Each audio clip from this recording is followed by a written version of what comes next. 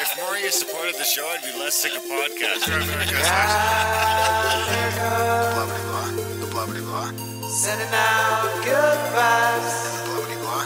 good Blah vibes, blah good vibes, And the blah blah blah. good vibes, good vibes. Underneath breaths of deep gratitude and prayers for guidance and protection. And put on a didgeridoo and shamanic drumming track. Shivers or vibrations and stuff like that.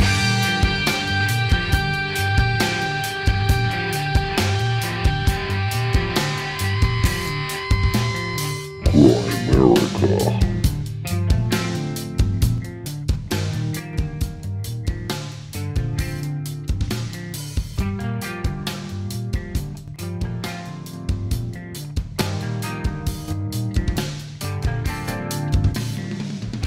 guys, welcome back to the Grimerica Show.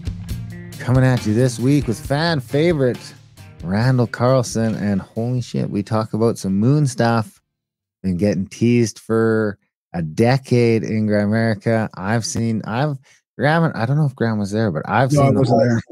I've seen the whole uh, presentation, not the whole one, because apparently he's added a lot to it. But I mean, it is mind blowing. And it, it seemed like we were going to do the whole thing here for a while, but I mean, we got enough that you guys are going to be super intrigued. Well, have you ever heard of uh, his him telling the story with the yogi too, and and his like his initiation into the yogi with the breath and the mantras and all that?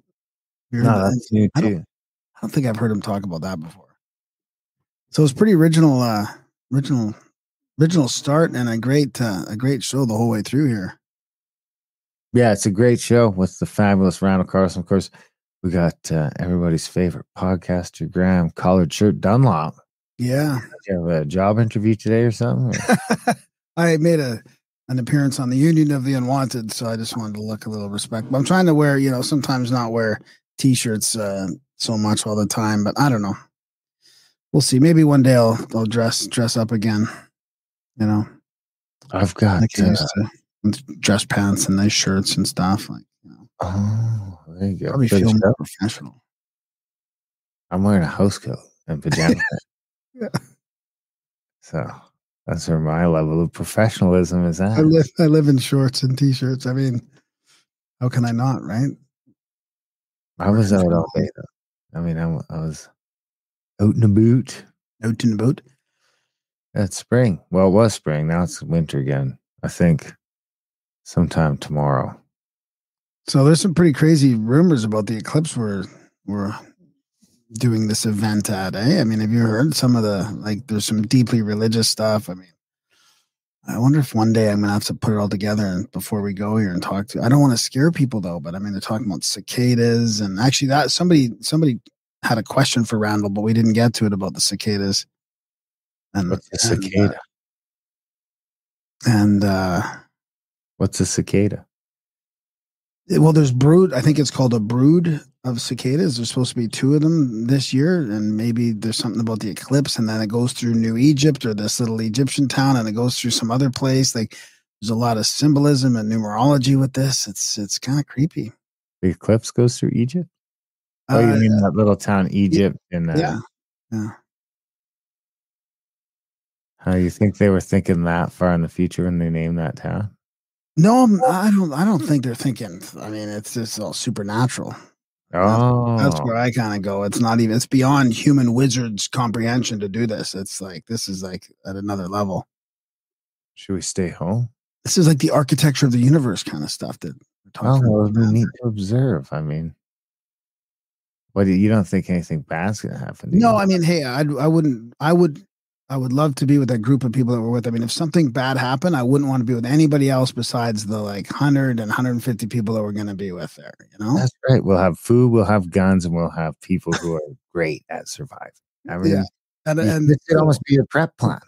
the coolest people, yeah. Coolest people. We'll be like running the Mad Max world. We'll swoop back up here, grab my kids and shit. It'll be blast. We'll have that we should talk turbo- about what? We should talk about exactly what's going on there then i mean really we should uh, so this is the eclipse of the canyon and it's from the 6th to the 9th so it's three nights i mean it's three nights for the vip two nights for the regular right live music $50 dynasty henry and the invisibles mostly dead sucker please and Unpaved. Guest speakers for live presentations. Dave Matheson will be there. Ben from Uncharted X, Russ and Kyle Allen, and Luke Caverns. Artists Danielle Villarreal, Becca Erickson, Abby McMillan, Michelle Tripoli, James Payne. And then Big Laugh Comedy presents Kit Hudson, Dakota Pachico, Jack Stoltman, and Darian Irwin. I mean, this can be fun, man. For like three days, hang out, watch the be in the path of totality during the eclipse. Owen Hunt is doing a set too, Yeah, and Owen Hunt is in there too. Yeah, and I probably mean, we'll have lots of lots of friends from the show will be there. Like, oh man, it's it's like a it's like an extended contact at the cabin event. You know, it's it's extended as in like the amount of people. I'll be uh I'll be the MC. Darren will be the MC. So I might actually I'm not a comedian by any stretch of the imagination, but I have been known to crack a joke or two be, when I get the mic funny. into my hand. So You yeah, pretty funny. it might be worth checking out. So contact at thecabin.com if you guys want to check that out. Of course, we got a few spots left for our Randall Carlson tour coming up in May. And uh, Randall's got a couple big shows coming out this week with uh, some big followings. We expect that to sell out um, very quickly. So if you guys are on the fence, think about coming to the Scablands tour uh, in May, do not hesitate. Get that ticket. Contact at thecabin.com. Uh, you don't want to miss it. You know, we never know when we're done doing the Scablands tours. So, you know, don't take them for granted. If you want to get out on one, come out and uh, do it. So, contact at thecabin.com for all of that good stuff. So, how's Saskatchewan? Did you, we're supposed to get two feet of snow, something or some shit this week, No, really? at least I a foot. massive snowfall. I mean, it is going to get cold here. I thought we were going to be out of that, but uh, it's going to be a little bit cold here, minus 10 to minus 15, maybe for a week. So it's just, you know, it's just enough for it not to be sort of comfortable doing doing projects outside and stuff like that you know it's just the the winter just seems to be not wanting to leave us but i mean before we get into that we should talk about you're you're still go let's just quickly touch on the other two trips here so you're going to the uk for this um Tychos. the Tychos model. Is it like a it's an event? It's like a presentation, like a meetup? What and you're gonna be meeting some UK posse up there and, and doing that. That's June that's June 15th and 16th, right? Or that's June 15th, I think you said, right? I think the meetup will be the 14th. Okay, yeah, that's right. That's right. And and I'll be in at the Cosmic Summit in Greensboro. But I haven't decided anything yet on where it'll be or how it'll be. I Yeah, had a yeah. few people reach out already on Instagram, but I don't Yeah. know what uh what we're gonna do yet. So we'll get our tickets and I'm gonna Well, be hanging out with Tony the faggot uh, from the UK and his family. He's gonna take some time off and tour us around.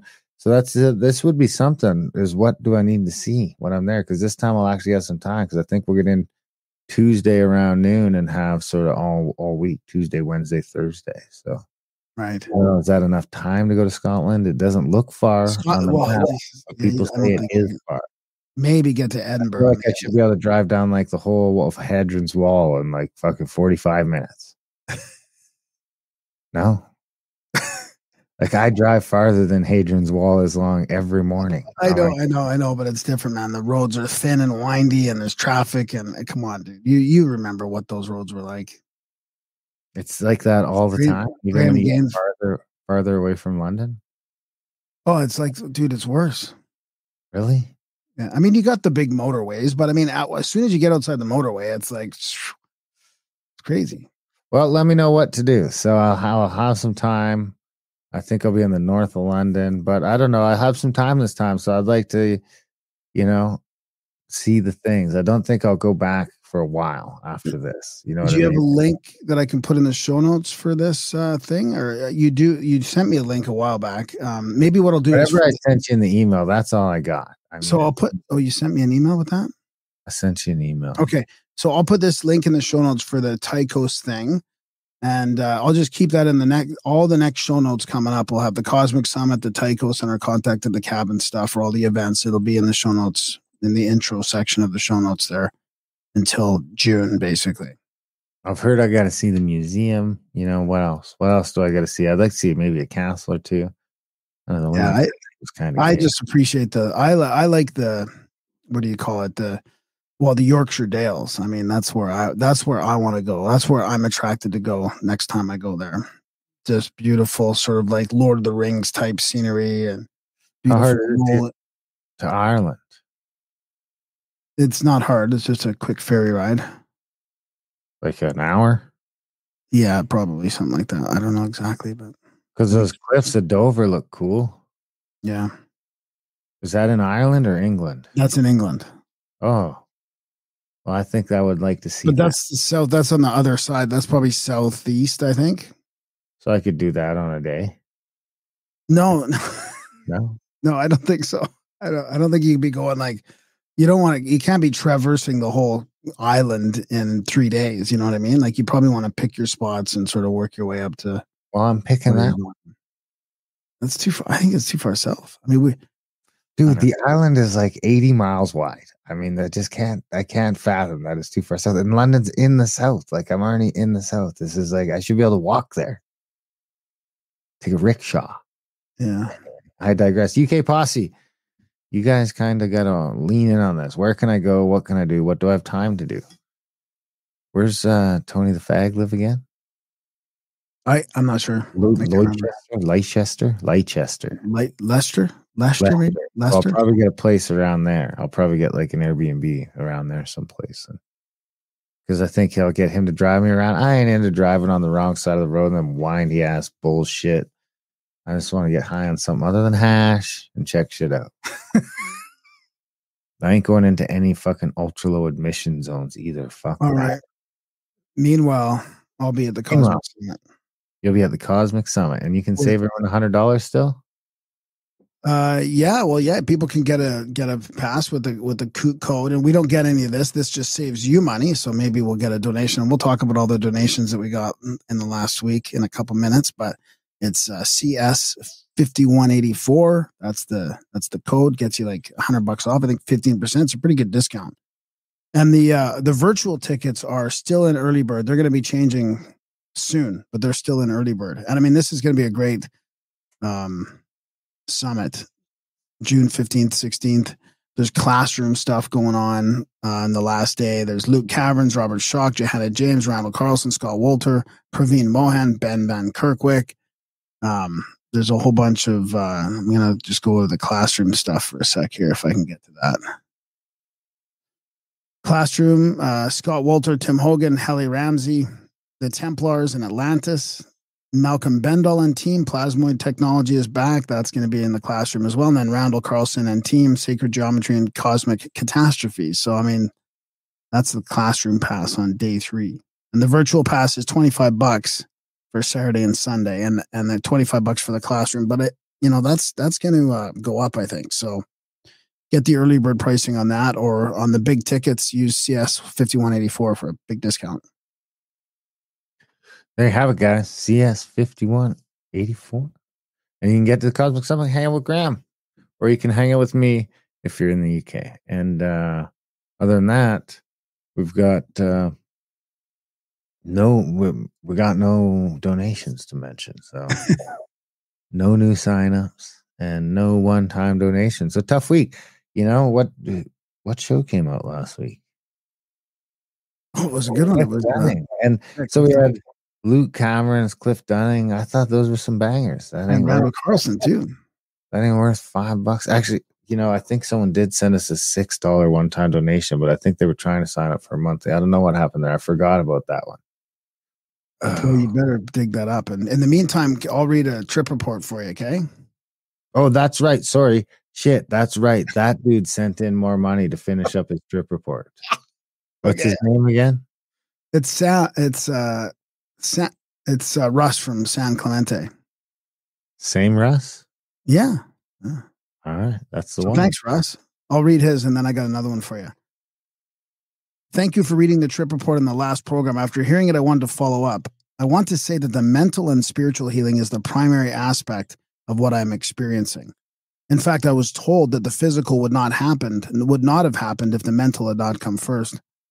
Also, that the process is never done. And just for some context, this is the guy who was doing like these mushroom meditations, and he was going pretty deep into some crazy self healing stuff. Like, like his his head was just like extinguishing all the snot and and like tears and and stuff in this one episode that he had and then some other things were sort of fixed in his in his system and he just like lies in the dark on his own for a few hours while he while he takes these like unknown doses of of the the fruit as he calls them.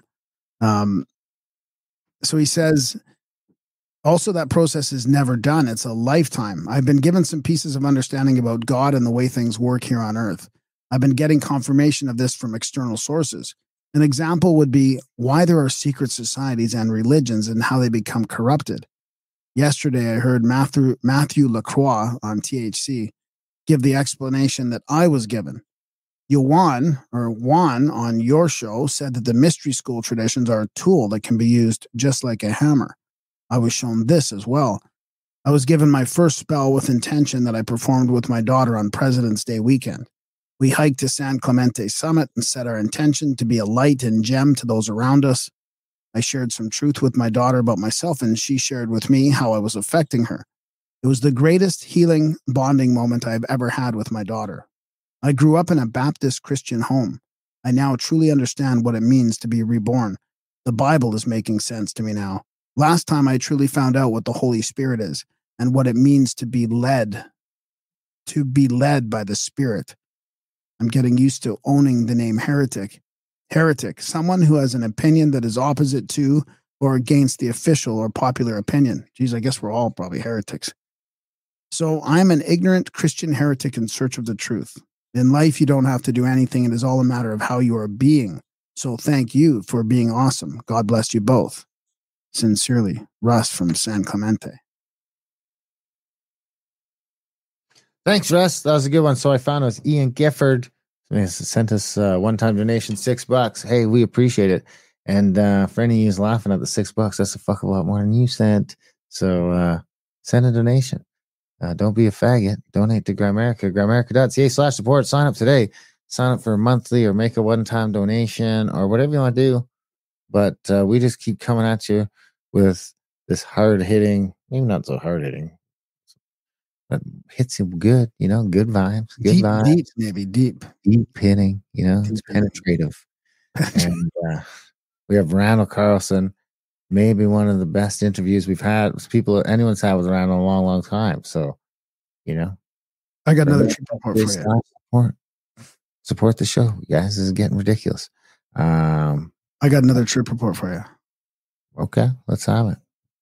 I took 10 tabs of acid. Then I went for a walk in a fit. What? You personally? No, this is the trip reporter meeting. You, you can guess who it is. Then I went for a walk in a field. I ended up standing there talking to this horse for about an hour. In the end, the horse turned around and told me to fuck off. That was it for me. You had a guess? Yeah. How can I ever guess? He quit. He quit taking acid while recording a record because of that trip. Hmm. hmm, Craig Flowers. No, Oh, Well, I don't. Uh, I it don't. was know. uh, it was Black Sabbath's Volume Four. Ozzy Osbourne. Yeah. Oh, how the fuck did you ever expect me to guess that? He was already in rehab by the time I was like a teenager.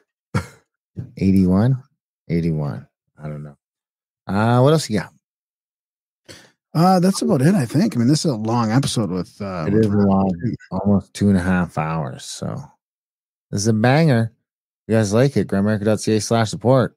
You know, send us uh, some support back our way. Help us make ends meet with this crazy carbon tax we're paying up here. You know, almost a thousand dollars a month for heat and hydro, heat and electricity. Uh, what's the other one? Adultbrain.ca, guys. If you want to get those audiobooks, Oh, Hamlet's Mill and the Rosicrucian Mysteries. Uh, both just came out on Spotify and all over the place. So if you guys didn't get the memo already, if you're a Spotify premium member uh, in the USA or the UK, you can get all of those audiobooks for free. Um, you can search Graham Dunlop or Adult Brain Publishing or just whatever book you're looking for. If you're a premium member, you can listen for free and uh, we get paid if you listen to the book. So we make money, and it's actually not a bad return for us. It's one of the better ways to consume the books and uh, support us doing it. And then, of course, that also out on YouTube. It's got some commercials in it and stuff like that. But um, that just came out on YouTube as well. And there's a bunch of other stuff on the YouTube channel that's there for free. If you're not a Spotify premium member and you don't want to spend that money, you can get a bunch of those books. There's got to be 20 or 25 of them or more already for free on that YouTube channel. Um, anything else I was going to mention? Uh, that roundup, Grimerica Outlawed, The Taz one just came out on Audible. the Taz, yeah, the the temporary autonomous zone, ontological anarchy and poetic terrorism. That's on Audible. Yeah. Oh, they, it is worth mentioning that Hamlet's Mill is back out on Spotify. That one was uh, we had to jump through a bunch of hoops to get that back out, but it is back out. Spotify and every place is you know we can't get it on Audible, so you got to get that one every place else. I think that's about it. Oh yeah, and, uh, like Graham said, Grimerica outlawed for all those roundups. We're doing the news roundups weekly every Wednesday live, uh, video and audio. So a lot of Canadian content in there, and then uh, you know interviews as well. GrimericaOutlawed.ca. Other than that, I think we'll leave it at that. Enjoy the chat, guys. This is what do you, do you have a bio? No bio, right? Everyone No, knows no, that. bio. Randall's the rogue, rogue, rogue, the rogue scholar. Scholar. He's owl. I'll, I'll say his other name Wow. is Mahaiva or Majaiva. Maja Mahajiva. Mahajiva. Mahajiva. Mahajiva. Mahajiva. Yeah. All right, guys. Enjoy the chat with the wonderful Randall Carlson.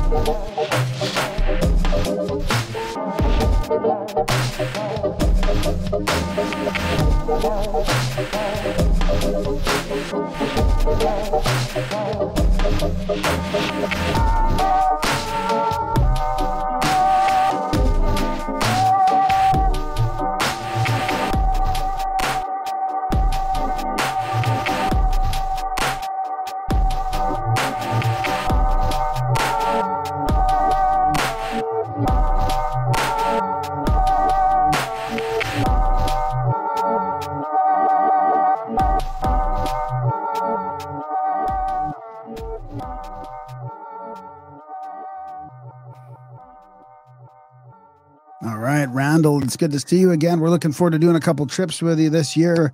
We got the Scablands and the Gorge coming up, but since the eclipse is so close, Darren, Darren is especially, he's he loves this celestial mechanics stuff. So Yeah. we'd, uh, we'd chat with you about celestial mechanics and the moon and the sun and all that. So thanks uh, for coming back on. How's it going? Going quite well. I've been on the road for a few days, so I'm a little bit shy on my sleep quota. So if I do nod off in the middle of our conversation, it's not because you guys are have bored me to death. It's just that, um, yeah, I'm still- Darren's uh, Darren's low on sleep too, so I'll, I'll just I'll keep us going tonight here. okay. So Darren and I, we can if we take a break. Hey man, I might only We need twenty. Could, we could pu- put this out as as an art piece. You know, Randall and Darren sleeping for thirty minutes, and, and Graham trying to wing it all by himself. So where do you want to start. Darren? Darren, you're the Well, one that sort of, you know saw some of this stuff before, and then you want to talk about it. What? Um, so there's this. Uh, Well- I, I, there's this eclipse coming up. There's this eclipse coming up and the thing that we always kind of and it's the other thing we should mention is that we just noticed right before we started is it's been almost it'll be 10 years this august since our very first podcast. With uh randall we went three and a half hours. Episode 65 if people want to go check that out but that's when we first chatted with you. You mentioned you were coming to canada and we ended up hanging out when you did and you know we've been doing these events together and everything ever since. Yeah. And we, we always kind of talk about this weird sort of thing with the solar system and that's where i want to start and it's I, I don't know if i've got it exactly right but it's something to do with 108 or 109 uh, moon diameters between the moon and the earth and it's the same amount of earth diameters between the moon and the sun. And um, with the eclipse coming up i've been thinking about it and i've never quite been able to articulate it as well as, the, as I'd like. So I was hoping to go back and touch on some of that stuff because it's always good. I mean, well, probably I don't want to spoil it right away, but it kind of it points to some things that are pretty apparent, in my opinion. Anyway, there's kind of two different ways it can go. Um, you know, one of which being intelligence design, and the other one being some sort of rule based system that might be more magnetic or electric based than what we're told. Well, you mentioned the the 108 principle, which has always fascinated me because, you know, back when was it in 1972, I decided since I had cleaned up my act and I wasn't doing any dope anymore for a while, and then uh, I thought, well, you know what? I still want to do something to get high, so I'm going to learn how to meditate. So I turned out I had a I, I found this Brahmin priest who was a student of a Himalayan Swami and he was teaching meditation. So I went in there and they had this whole system of meditation going back. This guy, the Himalayan Swami, he was uh, from the from the Himalayas. And uh, let me show you his picture here. I think I got his picture. Oh, I did have it right here. Uh, if I don't have it, we won't worry about it now. But he was a pretty cool dude. Uh, anyway, so I got initiated into this system of meditation. I was just going to joke that you were initiated into it, but yeah, I guess you really were. No, I really was. Um, I went through it was a whole ceremony and uh, pretty interesting and pretty involved. Um, so, as part of that, for my meditation, I got a set of meditation beads, mala beads, right? And on the mala beads, there are 108 beads on the string, and one of them is larger and slightly in like a different shape than uh, than the rest of them, right? And God darn it, I should if I I didn't think of this, I could have had this ready and set up to go. I could actually have shown my beads are somewhere. I still have them to this day. So that's you know when did I say it? 1970? 72? 71. It was 71. I was initiated in this form of meditation in 1971. So I got these beads. And what it is, is that you, you used these two fingers here, thumb and what do you call this finger? Your middle one? Oh, the your ring finger. Your ring finger. That finger has a name, right? Ring finger. Your ring finger. Ring finger. Of course. Yeah. So you've got this set of beads and, it, and, and you're holding it. It's going through your ring finger. And then you do, it's about coordinating your breath with a mantra. And you guys certainly know what a mantra is, right? Yep.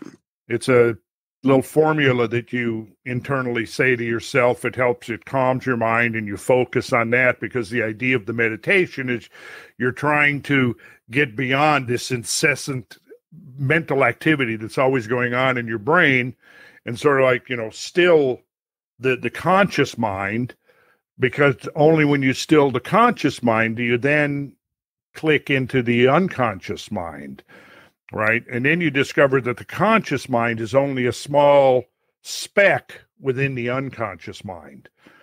And um but the the how that relates here is that when you've got those beads you start out you've got a you, you're holding it so that the that the bigger the larger bead is between these two fingers. And then you repeat your mantra so uh so my mantra was seven syllables and i've never ever spoken it aloud not once. But you correlate that with your breath you do the repetition of the mantra and with each repetition of the mantra you roll one bead with your with your index finger.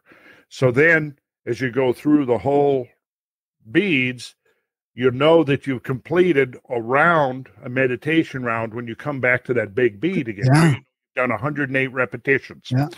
and so then what's happening is you're coordinating your breath and then in the advanced stages you're actually coordinating it with your heartbeat and i was only really just getting the hang of that when i kind of got sidetracked into the 70s Did you get did you get to pick yourself a new name like Ram Carl or something like that? Or like what would your new name be?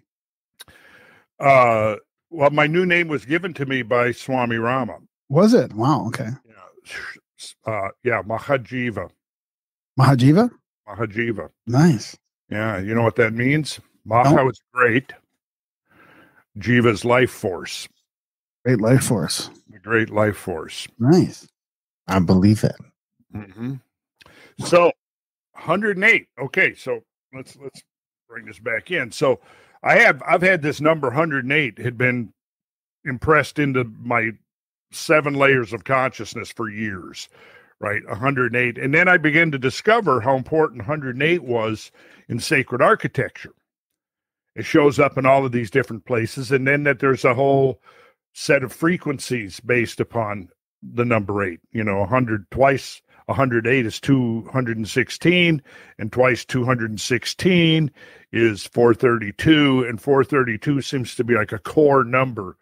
Um, what is it? Is it G in the octave? I think cycles per second is is the note G, 432 cycles per second, and then, uh, but the uh, what is that? The, in the diatonic scale. I'm not a musician, but uh, I've never studied musical theory, but I think that's in the diatonic scale. And then the scale that we've shifted to is the 440 cycles per second. Right? Yeah, there was the 432, right? 432 to 440.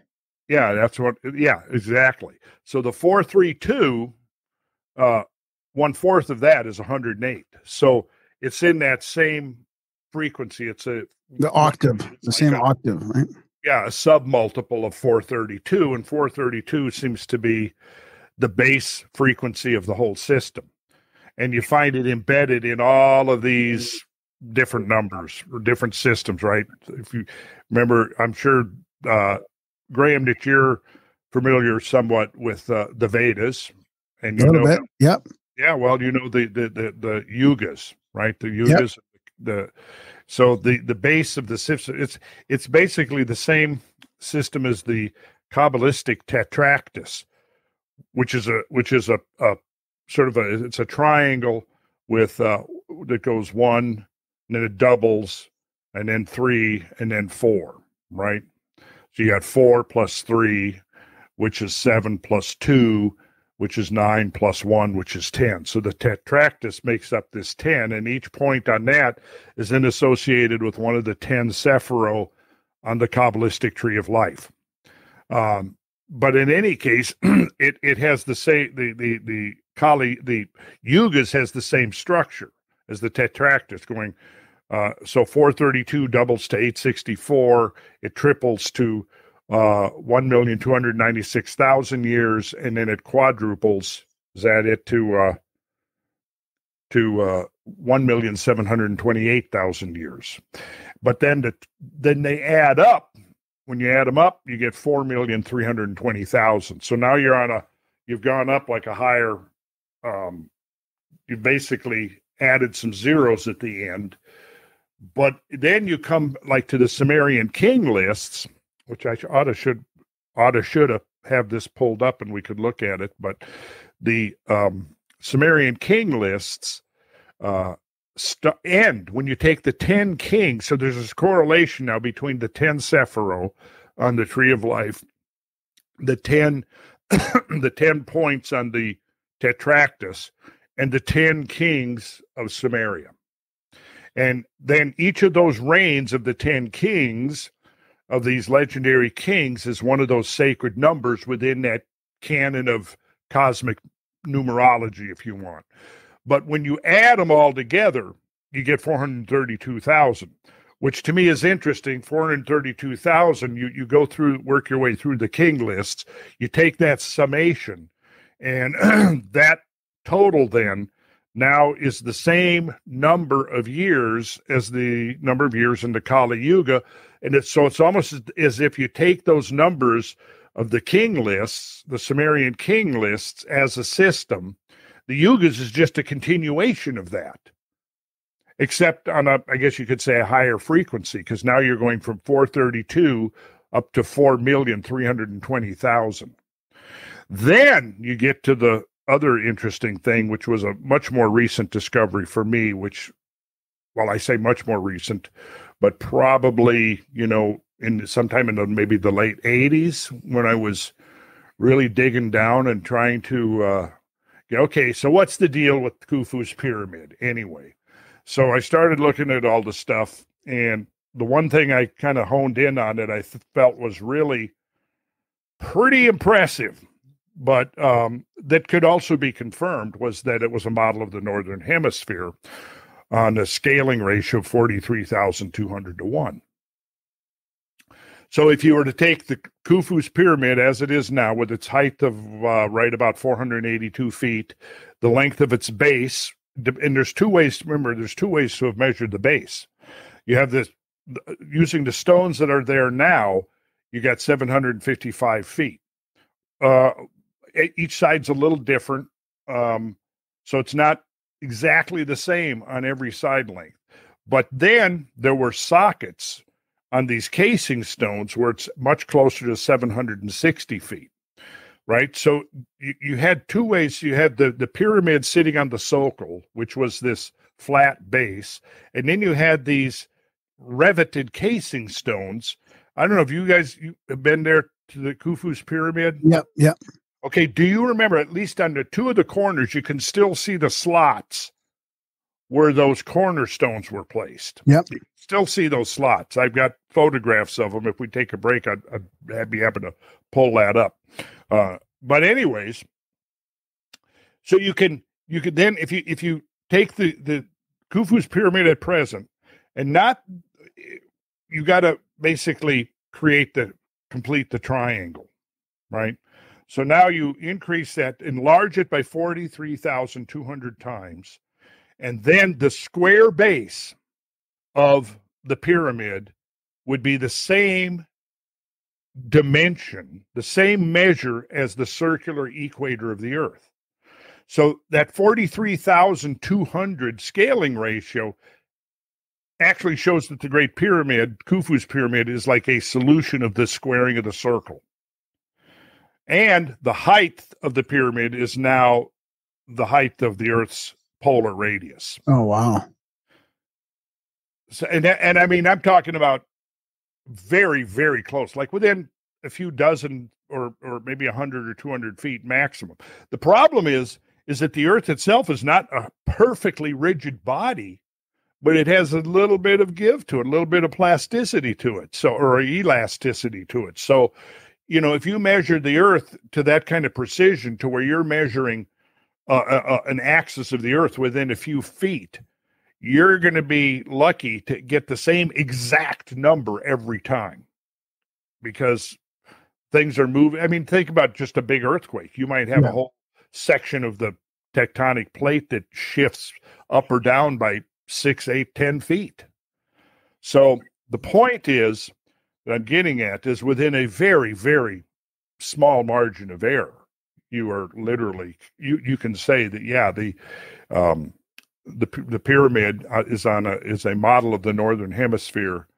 I guess you could flip it upside down and you'd have a model of the southern hemisphere, but it's a model of the one of the hemispheres of the Earth um, at a scale of forty three thousand two hundred to one. So coming back to you know 108 is you know is part of that that system 108 216 and 216 and uh, uh, then you double that and you get your 432 now somewhere let's see when i'm trying to think back when this when this i realized this because i was always playing with dimensions of the solar system and discovered how you know i would say i guess by the 90s early 90s i had done enough exploration that i realized that with just slight adjustments pretty much the whole solar system could fall into alignment and be described uh, both in terms of distances but also in terms of time the same set of sacred numbers. Now one of the the major discrepancies between the sacred number uh, which would be 360 and the earth is 365.25 but you know you can you can actually calculate how how much of a mistake it is by going 365 divided by 360 and uh, flipping that. So that's it's 0.986% pro, uh, accurate. Now, the rest of the, at least the visible solar system, that's the greatest discrepancy right there between in the Earth uh, orbital system. In that in the idealized calendar, and there was an idealized calendar of old, all you probably know this too, that there were many ancient calendars that ran a 360 day sacred year. I mean, we we get our if I could pull off my old geometry book here from the 1930s, Geometry for the Practical Man, it opens the word geometry start. Well, it started with the Sumerians. How did they decide on the 360 degree division of a circle? Well, because they once they believed that once the Earth's orbit around the sun was 360 days. So think how nice that would work out if we had a if if so something what's a little off. Okay, is it uh, the orbit is a little bit too big, so it takes five and a quarter days extra longer? Is it that this uh, axis, the rotation on its axis, is a little faster? If you just you could tune that thing a little bit, tune the Earth Sun rotational orbital system just a little bit. And then now you got this nice, precise 360 to 1. Every day would be one degree uh, transit or one degree mo- motion along the ecliptic, one orbit of the Earth, one, uh, one rotation. That's the di- important difference here. Rotation applies to a, a, a body uh, turning around with respect to a, a, point, an axial point within the system, and revolution is outside. So the Earth rotates on its axis but revolves around the sun. Does that make sense? Yeah. Yeah. If you want to get technical. Okay. So the Earth's, so then what you would have is you would have a perfect synchronicity between rotation on its axis and its revolution about the sun. But according to some traditions, and again, I didn't sit down here prepared with with my footnotes and stuff and my references, um, but in some traditions, that shift occurred as a result of a catastrophe. I was just going to ask about a pole shift, maybe back then or something. Some, some was something like that, yes. And I've gotten a little vague um, on the exactness of all the traditions, but that's the general idea. And anybody who wants to research can go into that and and I am going to be covering that. I have covered it in a lot of lectures in the past. Um but so the point is it's a little off. But and then you can do the same thing with the other planets between Mercury, Venus, Mars, Jupiter, Saturn. Uh, as I recall, the outer big outer gas giants were a little off. I mean, Jupiter and Saturn are turn out to be very, very close. I mean, you could, you, I bet you could do it here right now. If you took, um, it, so Jupiter takes just a little less than 12 years to make its rotation around, right? It's 11 point something. Who, who's our, who's the fact checker on this? I'm the fact checker. Okay. Uh, orbital period of Jupiter. We want the orbital period of Jupiter, and I'll show you, the, we'll make this adjustment and, and you'll see. Um, the number, unless you're looking for it, you're going to miss the number. It's 11.86 years. Okay, so 11, there we go. I should know that by now. Years. Okay, so now 11.86, and we'll go uh, years. So let's turn that into Earth days. So I'm going to go times. 4,330.6 Earth days. Okay, say that again, and I'm going to write that down. 4330.6. Four three three zero point six. Okay, so good, good. Okay, so check this out, and I'm going to put in four three three, uh, four three three zero point six, and then I'm going to divide by four three two zero, and what I'm going to find is that it's there's my calculator. You can see there. You can uh, it's ninety nine. Point 99.7 degrees accurate. Wow. So so then okay, so if I subtracted that from 1 minus 1, that means that if you were to adjust the orbit sh- uh, shorten its length by 0.002 you would now have that the Jovian orbit is 4,320 Earth Earth days. Holy So- shit. So Yeah. that could be like a rounding error. Yeah, I mean, look. Here's the analogy I use. When I build a house, it starts first of a con, and I built many houses, and I've designed many houses, and we've built those houses or other, you know, uh, uh, other things, barns, uh, other weird buildings, um, storage buildings, whatever. But I'm going to use the house. The house is such is. It's also it, it's a real thing, and it's also a pretty uh, interesting metaphor. But so when you build a house, okay, if I'm going to build a house, somebody comes to me and I want a house, and I've got this much property, and you know, here's my I I say, well, that's the first thing. Let's start with the site. We want the site because even if you're not trying to do anything cool and cosmic, you still want to orient and know your the orientation of your house. And too bad that so many builders have pay no attention to that. Although we're we're getting back to that. People are learning. Yeah, you can orient your house, for example, to the sun, and you can take advantage of that. You know, you can you can, and that's the one place that I am a believer in solar energy is in incorporating the energy of the sun is when you build a house. You know, you should be cognizant of the environment. You should be aware of the terrain. What's the how does the water move over the terrain? You should be aware of, you know, what is the the soil, the composition of the soil, how thick is the soil, where's the water table. You also want to know oriented on the site. Where's the sun going to rise? Where's it going to set, etc.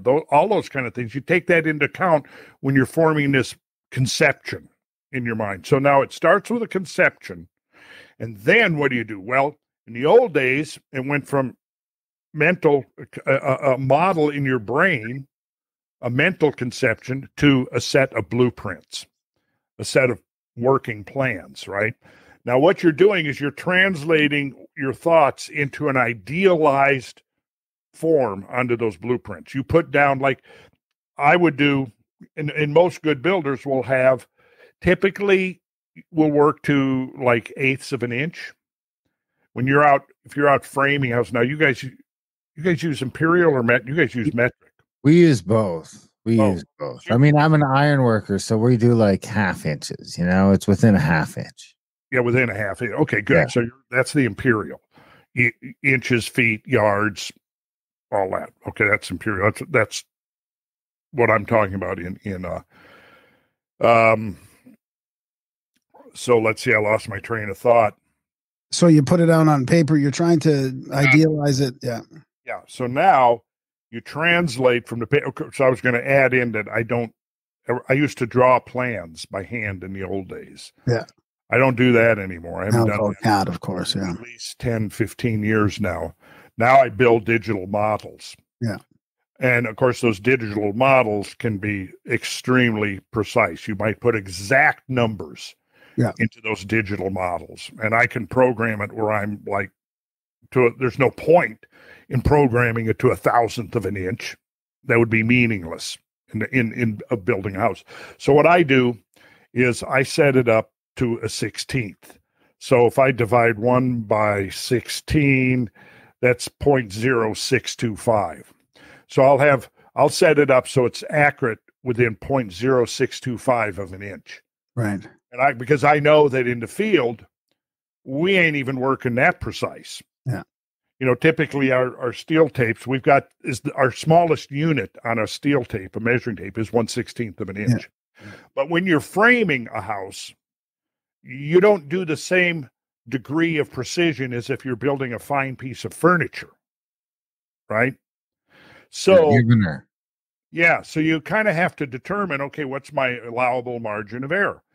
Now, the difference between the idealized model and the actual structure when it's finished, its accuracy is really a, a, a measure of the level of craftsmanship. Really good craftsmen, like my team, are top notch. So we can lay out a, a house that's, you know, 50 feet wide and it will be accurate when you run those diagonals from one side to the other it'll be it'll be accurate within within an eighth of an inch which is Would be one, which would be a one point what one point two five percent margin error.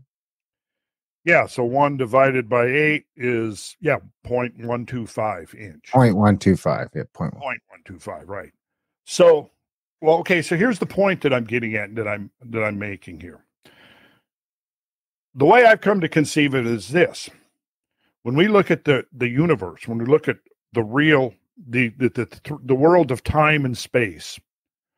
We're looking at something that has been rendered in matter in the material realm based upon a template.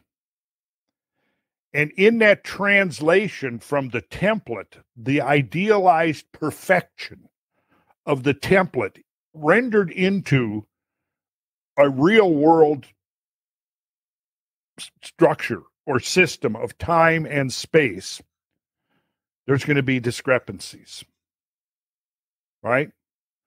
So we just learned that there's including in our ability to measure them. Even including in our ability to measure them even and of course our ability to measure is getting better all the time but if you've ever studied calculus you know that the, that the basic idea the fundamental idea of calculus is that of a limit and a limit is something which you can determine with a degree of precision but like for example if you're trying to find a, a, a, line that's tangent to a hyperbolic curve. It's only going to be one point. But how close do you now? I could say a hyperbolic or an elliptical curve because all planets and they're all basically all orbits are ellipses of a greater or lesser degree of eccentricity. We don't find any orbits that are perfect circles, right? Just like when we look at the getting back to the moon, we go, we have the perigee and the apogee. The perigee is the closest, and you can fact check me on this. I think perigee, uh, Darren, we're looking at about 221,000 miles. And at apogee, I think we're looking at about 252,000 miles. That the that is the difference between the moon's closest and the moon's furthest distance from the Earth. Mhm. think that- Is it close to 200? Is its perigee close to 221? oh boy, I'm Well, well, fact checking. I'm looking well, at Darren, well, Darren So- looks at that. So while Darren is looking at that, yeah. I, I want to. I got to like. I want to bring something up quickly because I, I'll never forget when Darren asked you a question. It's had me thinking about this ever since. When on our earlier podcasts, does that template that you talk about, like, is that unique for each solar system? You know, it, it seems to be like built into this our solar system, maybe only, and the other another system way over there has a completely different template. Well, given this, okay, the the the positions, the architecture of the solar system is uh, is appearing to me like it's wh- whatever it's optimum for the generation and evolution of higher sentient life. Because, for example, I think the if you look in the the the, the models of exobiology, and I definitely leave, lean in that direction. I think the evidence is becoming overwhelming that Earth, that life was actually the precursors to life anyway, were introduced from outside. Yeah. Into the Earth system at the appropriate time when the temperature and the ratio of water to land and all of these other factors are optimum life is seeded. Now, of course, that gets us into the question of that we won't necessarily get to here, whether like uh, you know the theory of panspermia that life is seeded, for example, throughout the universe. And I think there's some interesting new research along those lines showing the importance of organized plasmoid systems in, in that um, being actually the the way that these microscopic precursors of life could be channeled th- through space. But then there's also the possibility, the probability of things like comets, even asteroids, having the raw materials of life being de- delivered to Earth. Now, Right. after the creation of the solar system, and however that occurs, you know, if you take the nebular hypothesis, you have the sun consolidating as the, the the center of the system, the center of mass of the whole system, and then all of the outer planets are, you know, are are gravitationally cohering based upon their distance from the sun. And I mean, there's so many mysteries and it's so complicated. I'm not going to even attempt to get into that. Explaining the, the origin of the angular momentum of the solar system, okay, is, uh, you know, that's, that's, that's a mystery. I don't think anybody's really solved that. Why everything is spinning and it's spinning in the same direction, right? And uh, it, rotating and spinning, rotating and revolving in the same direction. You know, the, the Except one- Venus? The moon? what? Except Venus. Except, well, Venus is revolving in the same direction, but it's rotating in the opposite direction. And damn it, I wish I had my. I here I am totally unprepared. If I don't, I I have when I've got a globe, I could I can demonstrate this, but I'll try to demonstrate it anyway. Uh, Well, before you do that, the uh so in 2021, the closest perigee on December 4th was 221,702 miles, and the apogee on May 11th was 252,595 miles. okay, so I was close enough. You're Around- you were close enough. Yep. 221 to 252 okay so that that's a measure that difference is a measure of the ellipticity the eccentricity of the of the moon's elliptical orbit but so like i've got this this let's say this is the earth's axis or any any rotating body and let's say it's rotating uh like this okay then what happens is is if i flip it over turn it upside down now it's going to be rotating in the opposite direction. So Oh, otherwise, uh, how how else do you explain the fact that Venus is rotating? I, I to me that just something caused Venus to flip over physically on its axis. Well, isn't the moon in a unique position to not be spinning as well? Then I mean, it's rot- it's going around but not spinning. Okay, now let's get let's clarify that. So hold that thought. Yeah. Let me complete the other thought, which is that the and, and you raise an interesting question. Does that template as it stands now hold only for our own solar system or others? And I would say here, and of course, it's totally speculative. I would say that yes, if you want to introduce life and then see and then prompt that life to evolve to a higher level of self-awareness and consciousness, you probably need to use that, be working from that template. Um, we could do the same thing like with Saturn, Jupiter, Saturn, right? Show that Saturn is within an extremely close, and you could do the calculation on your own, or we could we could do it here after the break. We saw how close Jupiter was in that synchronicity between the sacred number 432 showing up in the ratio, right, of the Jovian uh, orbit to the number of rotations in the Earth. So there seems to be that 432 link. Okay. I think if we do the Saturn, we're going to find out that the number is 10,800. There we go. There, there, there we go. Look at that. So now I'm going to take 10,800, and there's our number 108, right? So for Uh, people listening at home, it is 10 that we pulled it up a screen share and it is uh as per coolcosmos.com or edu, it's 10,755.7 Earth days. Right. So the correlation between Earth days and the number of days in the Saturnian orbit is 99.6% accurate. Huh. So now you would have 10,000. i- i- i- If you tune the system just a little bit, you know, by, uh, let's see, so minus one. And so again, I'll emphasize that that could again be an inability to measure. might be, you know, Or or maybe the system's tuning. We're trying to all measure it all time. from we're trying to measure it all from Earth, you know. mm. well, Couldn't we be out in our measurements by that same percentage as they could be out in making it? no, I don't, I think we're more precise than that. Okay. It doesn't matter because we're 0.004 percent being dead on, where the ratio between uh, the number of days in a Saturnian orbit and the number of days, uh, the And number of Earth's orbit. Earth's orbit is. So, in other words, So what would the equivalent of that be on an inch? by 0.004, you'd have an exact synchronicity. Yeah. Between 4,320, I mean, I'm sorry, 10,800 Earth days and the number of years. Sorry. What am I doing? Yeah, well, I get it, but so it's within the it's within so uh, correct me if I'm wrong on this. That's 25 times more accurate than your eighth of an inch. Yes. Yes.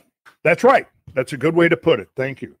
So so that's my point is what I'm trying to get to is when you you begin to look at the architecture of the solar system it displays in a very very precise manner with a little bit of adjustment you you see that the the template has determined the ratios.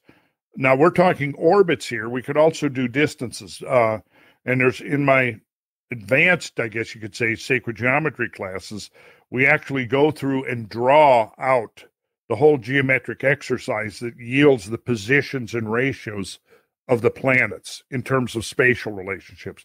But interesting work going back, God, 10, 15 years ago, um, showing that the delivery of comets from the Kuiper disk to the inner solar system was totally dependent upon the the masses and spacing of the outer planets. And if you were to change that at all, the delivery of comets from the zone outside of, of Neptune to becoming uh, Earth crossers wouldn't happen. Wow. I could pull that up if we take And a break. that, so that gets in again to this um, me- mechanism that allows for life to propagate potentially if if if you're following span per- span And that, permeates- that goes, and that goes permeates. all the way down to the moon and the earth. Yeah, and so when we get to the moon, how we find that spacing? Well, okay, so do this. If uh take the 221,000, Darren. 221,000 add to that go plus 252,000 and you don't have to be precise. I think that's going to be close enough. Um take the total, then divide that by 2 to get the average. I come up with about 236,500. The Two, average, six, five hundred. That's the same number I got. yeah. Okay. So now, um, 236,500 being the average. Okay. Now, uh, divide that by 108. Divide that by hundred and eight. We're going to be a little big, so it's going to be closer to uh perigee. So let's go. You said at perigee, let's go 221,000. Okay. Go that times 108. Multiplied Let's see. and eight. I'm sorry, 221,000. Uh, divide by 108. Divide by 108. Yeah. 200, 2046.29. Okay. So now we're on the low side. Okay. So here's what we can do go 2,160, the diameter of the moon, and go that times 108. 2,160 miles times 108. You get 233,280. 233,280, almost right in the middle of the uh, perigee and apogee. Yeah, almost right in the middle. So it's almost the average distance. So if you're t- just in conceptual terms, you could then say that the distance from the Earth to the moon, and of course, all of this is, is constantly changing, right? It's constantly because the moon doesn't stop, it keeps moving. So it's constantly adjusting. So you can say that there would be a point within its orbit around the Earth where it would be exactly Right, right. eight times its own diameter from the Earth. Oh, that's Yeah. interesting. I wonder when that time is. Has anybody ever like measured that exact time? Like, Not that I know of. I may have attempted it once upon a time. Um, I like how it would be interesting to know if there's any any strange happen or not strange It'd happenings. but, you know, it was on a solstice, right? But see, the complication, the wrinkle there is, is that those aren't fixed points. yeah, those right. points are constantly shifting. yeah, yeah. So the, the the the lunar perigee, you know, against the backdrop of the stars now wouldn't necessarily be in the same position a month from now or a year from now. Um, Well, what's that? Eighteen? What I mean, do we want to get into that eighteen point six year cycle you're talking about the moon, or or do we have more to? One more thing, though. Yeah. One more thing. The diameter of the sun, generally, and that's a you you can quibble about, you know, what's the sun's diameter. Um, problem is the sun doesn't have a solid surface like the Earth that you can measure. You've got, you know, you got the chromosphere. Do you include the chromosphere? Just like if you were going to measure the Earth, do you presumably you would measure the solid surface, but you could include the atmosphere, right? Yeah, if you're but the the the sun's uh is much much more complicated than that so you know if you include the chromosphere it's closer to 865,000 but if you don't include it then it's closer to 864,000 miles and that's i think the traditional number that's been associated with the sun 860 which is very close to the sun's actual diameter. Now, of course, what happens when you divide 864 by 2? You get 432,000. So that's interesting, isn't it? That the number of miles in the radius of the sun is 432,000. Let's see, you divided by, yeah, there you go. What'd you get there? Um, 8,000 when I divided uh, the diameter of the moon by 108. sun. that's the diameter. of the Diameter of the sun, sorry. Okay. Okay, that's interesting. Okay, but now uh multiply the diameter of the sun times 108. 864,000 times 108 equals 93312,000. There's your 93 million. Well, that's how far away it is, right? 93 million miles away. And that so this is the one I talk about on the show all the time is how the the moon has the weird thing where it's 27.3% the size of the earth and it's 27.3 days of rotation Mm-hmm. and the earth is 365% the size of the moon and it takes 365.25 days to do a rotation. And that's all by like nasa's own numbers. So it's either so to me it's either it got made it's intelligent design or the numbers were like made up to fit some occult Oh, other uh, and you could also point out that now this is going to it it changes all the time, right? Because the moon's when you talk about the moon's orbital velocity, that's going to be taken relative to the Earth. That's going to be different at perigee than it is at apogee, right? But you can say, and just like there's going to be a certain point within the moon's orbit where it is moving precisely uh, in one hour, in one of our hours, a distance equal to its own diameter. Man That's interesting, isn't it? So it, it, it is when you get into it, you know. yeah, eh, Okay, so here, yeah, I mean, this is where I my mind starts to just sort of boggle into incoherence. Is that well, you brought it up, Graham? I mean, or or, or Darren? I mean, is this intelligent design, or is it out of all possible world systems? This happens to be unique, and by whatever cosmic accident, it's just the right arrangement here, in order for us to be sitting here having this uh, this uh, StreamYard meeting tonight. Well, I would offer you one more, and that could be it could be like some weird law that just like because if it gravity doesn't work the way we think it does, and it's you know we've got other pretty smart people who thought it was magnetism, and some other pretty pretty smart people who think it's electric, but maybe it's just held in place by these ratios somehow. It's some some weird law that we don't understand. Is that a possibility? Well, if you start talking weird laws that we don't understand, I, I suppose we could say, yeah, that's a possibility. Um, I don't know. I like. I just. I don't know. I don't know. And uh, there's Malcolm calling me. I should have turned this off. He's got. I'm sure he's got some big news about the plasma technology developments. Want to bring him on the show? Then? Here's a question from the chats. I wanna. I wanna. This is a pretty good one from Mike. What's that speaker for?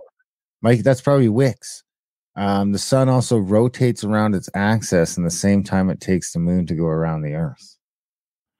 Yeah, that's about right. I, I'm pretty sure that's about. You could, I, if you have it all pulled up there, Darren. I bet you can see the sun's rotational period. Interestingly, the sun's rotation, like it, it varies depending on latitude from the solar equator. But I think overall, you said his name is Mike. Uh yeah, I'm pretty sure Mike UU is our buddy Mike Wicks. He's been on a couple of trips. You would know him to see him for sure. I might have just uh, I probably would- This once in about 27 days. And of course the rotational period of the moon around the earth is 27.3 or 27 or something like that. So there again, we've got that little bit of discrepancy, but and 27 is one fourth of 108.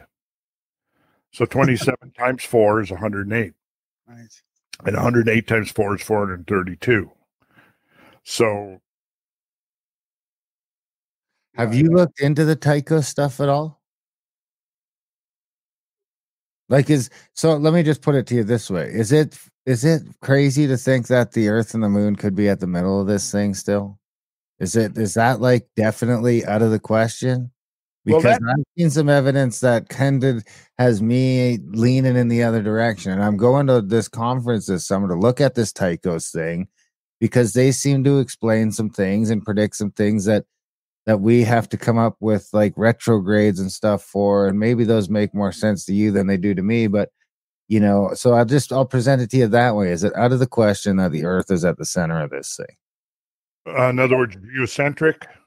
yes No, well, Geocentric, is that what you're saying? geocentric in a binary system with the Mar with Mars in the sun, though, Darren, I think is the key. yeah that's what it is yeah right there's more to it than that Well, I haven't looked into it. I, you know, I haven't at this point encountered anything that would make me question the heliocentric, and I can explain retrograde motion um, relatively easy, um, or at least I can demonstrate it. Um, it and yeah, uh, i'll send you the book and what, what's the name of the book? the tychos model i think i've got it on pdf i'll email it to you Yeah, actually, I think we might have showed you on one of the trips because there's a few people that have been with us that have loved like they're really Yeah, into yeah, this this whole model. And yes, I actually. I don't send me the book. I have it. okay, and, and from my scholarship days, I recall that Tycho was actually pronounced Tico. yeah, yeah, I can't get away from Tycho. It's hard, right? You want to say Tycho. Yeah, Um, yeah, it's uh, yeah. I remember when I was a kid, I was maybe five, six years, six years old, just learning to read, and we had classical music around my house. Right, my mother was sort of into classical music, and so we had we had records by you know orchestra of the great composers and stuff, and so I can remember I, I hadn't quite learned how to read yet, but it was um the three composers. The first three that I learned were uh, Beethoven, Mozart, and Bach. yeah, You remember Bach? yeah. And then, then only later did I learn Beethoven, Mozart, and Bach. Yeah. But no, actually, it was years before I went from Bach to Bach. yeah, exactly. I think I finally, now in my seventh decade, got it down. That's how you say it. Johannes Bach. Yeah. So uh so that's cool. Now 108.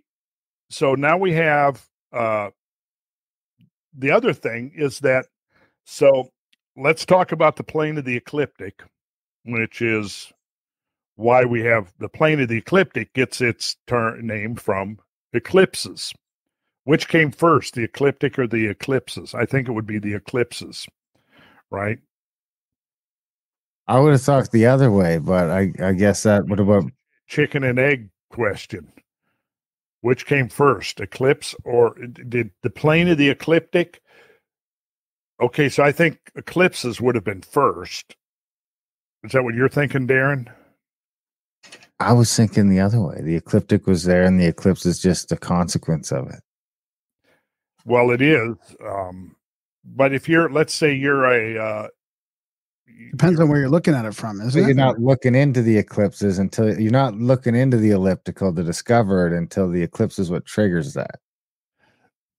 so if you're a Paleolithic man, Darren, and you're standing out there and you're seeing an eclipse, well, obviously that would be something that someone without instrumentation, just using naked eye observations, you would see an eclipse.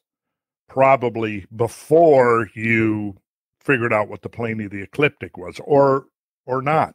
I don't know. No, you're right. I agree with that. Hmm. Well, it's an interesting academic question, but the Well, point polymathing, polymathing in the in the chat says the plane of the ecliptic is, is a human concept. Eclipses just happen. Well, let's see. Do I agree with that?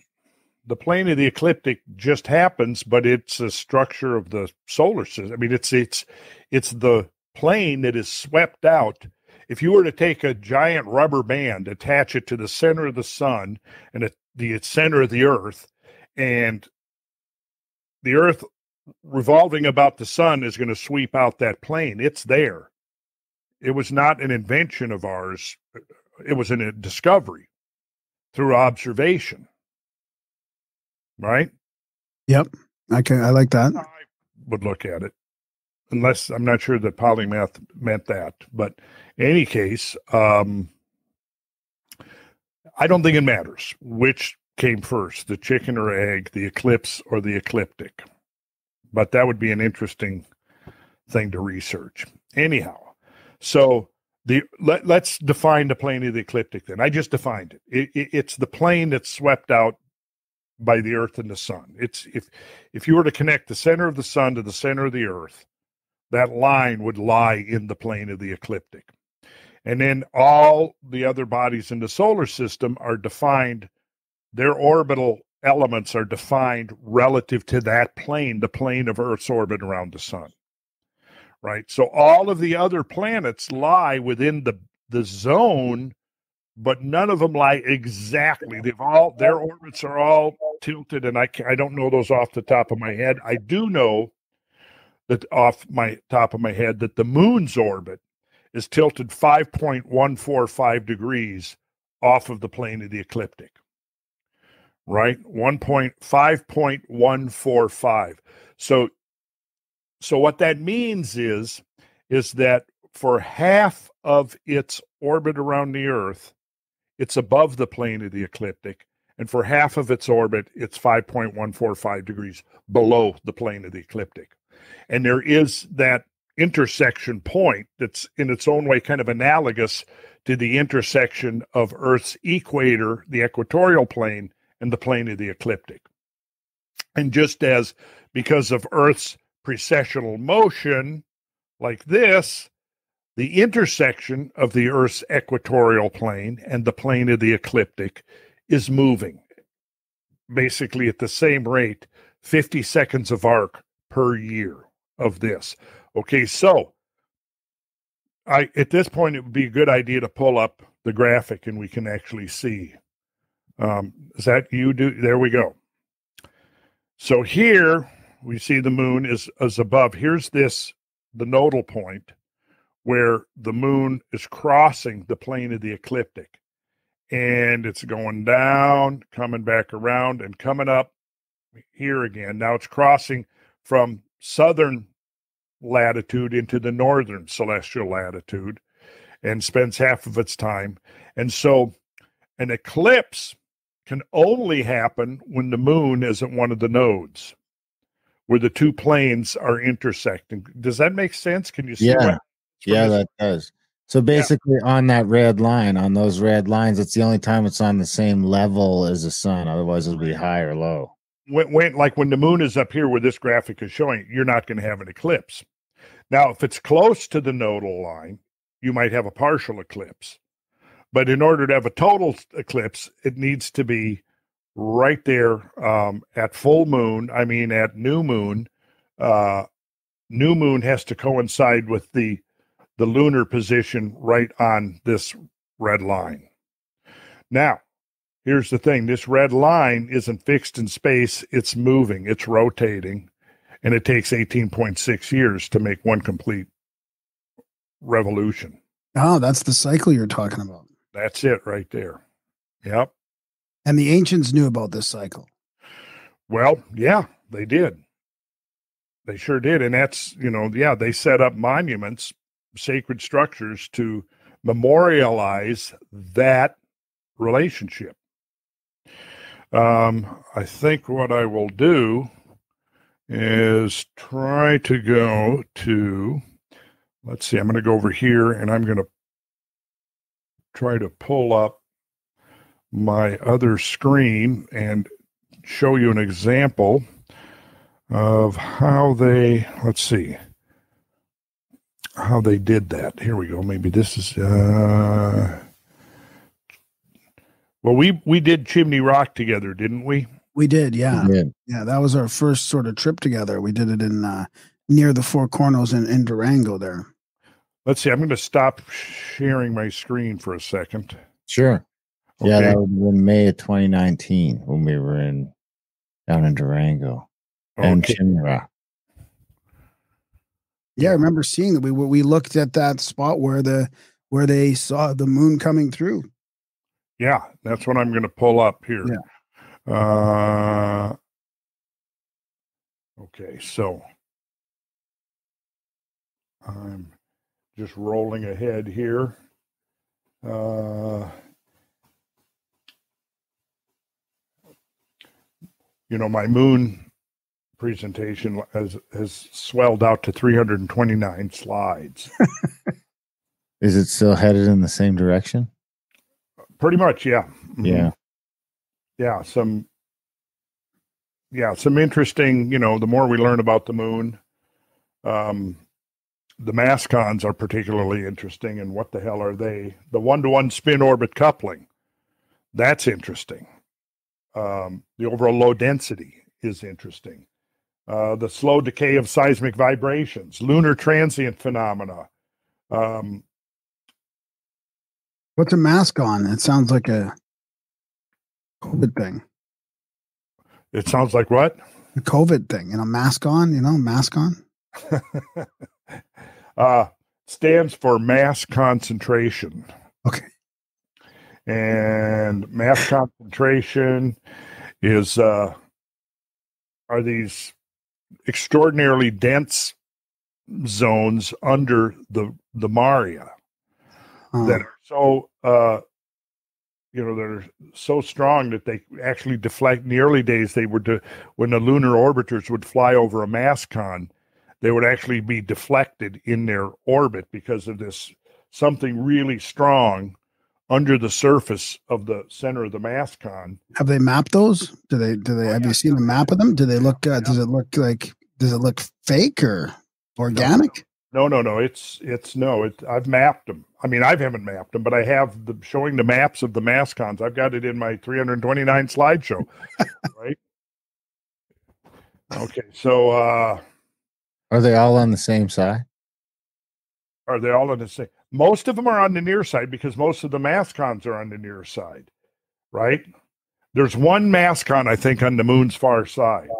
and I'm trying to remember if there's a mascon. Most of the Maria have these mascons under them, and again, I wasn't really necessarily prepared to get into that. But if you wanted to, um, I could get it set up. We could take a little break or something, and then we could come back to that. But this was we were going to focus more on the eclipse. Uh, where am I here? Come on, damn it! I slide 29, 30. Okay, it just, I just in fact, I just. Do you want to? Uh, hey, well, since I've got it right here, you want to do share screen? Yep. Yeah, let's do it. Okay. So here's this is a lunar gravity map, uh, and the contour lines show the gravity strength above the mean value of moon in units of 100 milligals. I think you got to click on it still. We Oh. don't see it yet. Yeah. Did you? uh, Can you see it now? No, I can't see. You gotta click present again. Oh, right. Of course. Of course. Yeah. Sorry. Uh, share screen. Share screen. Uh, should be the same window, Uh, but I got to s- select it again. Screen two. Yeah. There we go. You getting it now? Yep. Yep, we got it. okay, so these are these extremely dense regions underlying the lunar surface, mass concentrations. And uh, this is the near side Maria, which are the big, you know, the, the seas, the dark blotches. When we look at the moon and we see the man in the moon face, that's because of the Maria that we're seeing, right? So the Maria uh, all of the near face, near side Maria have these gigantic. Well, we don't know how big they are, but whatever they are, they're extremely massive and extremely dense.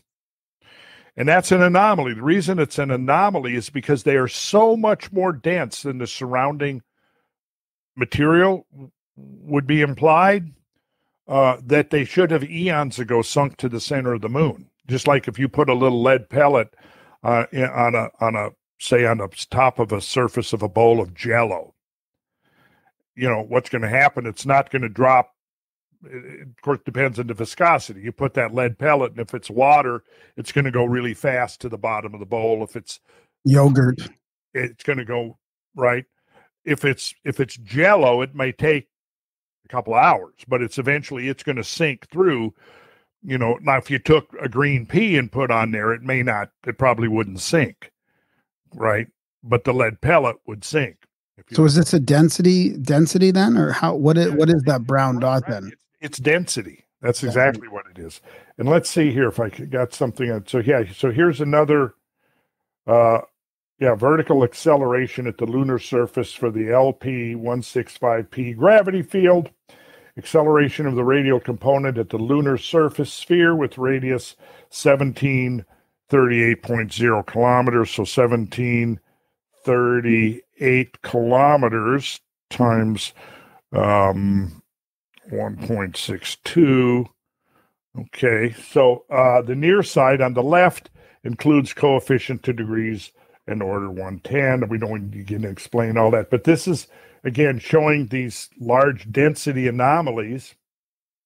Uh, here we can look at this quote The discovery by Muller and Sjogren of mascons in the moon is of great interest. My investigations allow a calculation to be made of the size and depth of the mascons in terms of the size of the mare formed by low velocity impact of an iron meteorite.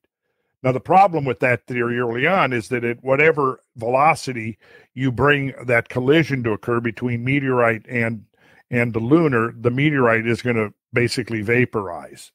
Um, so uh, I am currently completing an analysis of penetration and cratering of concrete and soils by steel projectiles. Uh, he goes on. Let's see here. Uh, Yeah, but even if it vaporizes, wouldn't it just maybe push or squash it all together to concentrate uh, the mass somewhere? Probably. So these results suggest that the lava filled Maria were formed when very large iron objects struck the surface of the moon at a velocity so low that there was no immediate fracture of the object. But that raises problems. The impact produced by a very large crater, and the object penetrated to such a depth that deep material was melted by pressure release and flowed to the surface to fill the crater. The interior of the moon must have been solid when these events occurred because otherwise the dense iron meteorite would have sunk into the molten material, right? So was the the moon molten or solid all the way through here? Uh, the suggestion by Muller and Sjogren is very reasonable. However, the depth of the mascons, which they take as 50 kilometers, seems to be considerably underestimated. The depth of an impact crater measured to the bottom of the shattered material in the crater is approximately one fourth of the crater diameter. Right? That's a good rule of thumb that you can use. Now, okay, so this means that if the Maria are filled craters, the depth of Imbrium should be about 300 kilometers. That's that's uh, 60. That's 180 miles, but it sure ain't. In fact, it, it ain't. It's not any deeper than about three or four miles. And the depth of Humorum was about 100 kilometers, which would be about 62 miles. If the mascons are deeper, as I suggest, then they must also be more massive to produce the observed gravity anomalies. So, in other words, the, the deeper they are, the more massive they have to be to have that corresponding deflection of, of something flying over. Now, if they had all sunk to the center, right, then then it'd be equal. an anomaly. It's you know you're not going to have it, so it has to be close to the center. The closer to the center, the less the, the surface. closer to the surface. Thank you. Closer to the surface, the less the mass. Um, let's keep going here. Uh, so here, yeah, Muller and Sjogren. This is another. This is isostasy on the moon. This is all research done back in the Apollo days. Muller and Sjogren have performed the astonishing feat of providing a relatively detailed, though preliminary, gravi- gravimetry, gravimetry of much of the front surface of the moon. The data from which they worked is in no sense marginal. The pertur- perturbations of the orbiter satellites which they used are so large as to have been an operational nuisance before they were understood. The interpretation suggested to Muller and Sjogren by the papers of H.C. Harold, that would be Harold C. Urey, and tentatively adopted by them attributes the mass excesses in the Mare regions to mass concentrations, perhaps remnants of colliding asteroids, on the order of 100 kilometers in diameter buried under the lunar surface. Uh, on the other hand, both observation and experiment indicate that impact at normal meteor velocities leads to the scattering of the impacting mass as a result of shattering and vaporization. Even if it is supposed that the circular mare, maria were made by bodies already in orbit around the Earth and hence having relative velocities of only a few kilometers per second, there remains a difficulty in supporting the mass. The pressure exerted by such a body on its base would be the order of eight kilobars, which is 110,000 pounds per square inch. And this exceeds the crushing strength of granite. It is reasonable that a mass of this kind would crush its way to the center of the effing moon. Okay. Makes sense. Yeah. Uh, so Muller and Sjogren have concluded that there are very massive objects in certain locations at the surface of the moon. Now that we would say these are anomalies. These are things that raise some very interesting questions. Um, so yeah, if if the Mare Imbrium situation is taken as a prime example, because it exhibits a maximum effect, we come to the conclusion that the viscosity of the moon must be higher than that of the Earth by a factor of 10 to the fourth. So that be whoa. difficulties we're running into here. And it is difficult to devise a lunar history which provides the low temperature required to account for the lack of isostasy and the low electrical conductivity, and at the same time for melting processes required to produce the basaltic material on the surface of the moon. So here you have these huge Maria, you know, the 100 to 300 kilometers in diameter. They're extremely shallow relative to what theoretical calculations suggest their depth should be. And then right at the center of them, you have these enormously dense masses of something. Um, So so it almost so it, it sounds like the, the, it was already dense mass and what and it just whatever impacted it couldn't go down any further because it was so dense. So it, Well, it has to be density. shallow. So, but see, the density is not a uniform thing over the surface. Then you have to assume that the density, if the density was already there, then all of the impacts that produced the Maria had to have impacted directly into that that anomalous dense area. In other words, go back to the to the lunar map we were looking at. So- Or all those or all the craters that have the same ratio of um, of depth to to length. No, but what they do have is they have a limit in depth. So they reach the depth. Their their typical cratering ratios up until you get about three miles deep, four miles deep. Okay. Then the craters keep getting wider right. without any deeper. Interesting. Wow. Yeah. So the the assumption would be if this if a meteor or an asteroid hit the moon where this density is, did not vaporize, and somehow for whatever reason did not sink to the center of the moon, right? So the question is if this was if if this if the mass con was already there, then what was the mass con? You see what I'm saying? hmm uh so let's see uh yeah at one time however as the thinking So of the what- mascons must be why it's tidally locked with us too. Then. well that's well yes because it's tidally locked to us because the crust apparently is so rigid that that yeah i'll i'll i'll show that in just a second i think i can kind of explain that um at one time it was naively believed that mascons are remnants of the dense projectiles responsible for the excavation of the basins right? But it was soon realized that they would have been totally vaporized. Furthermore the largest mascons only occur in those basins which were filled with mare basalt. But if mascons are simply layers of mare basalt lying on top of low density crust, how is this excess mass brought to the surface in the first place?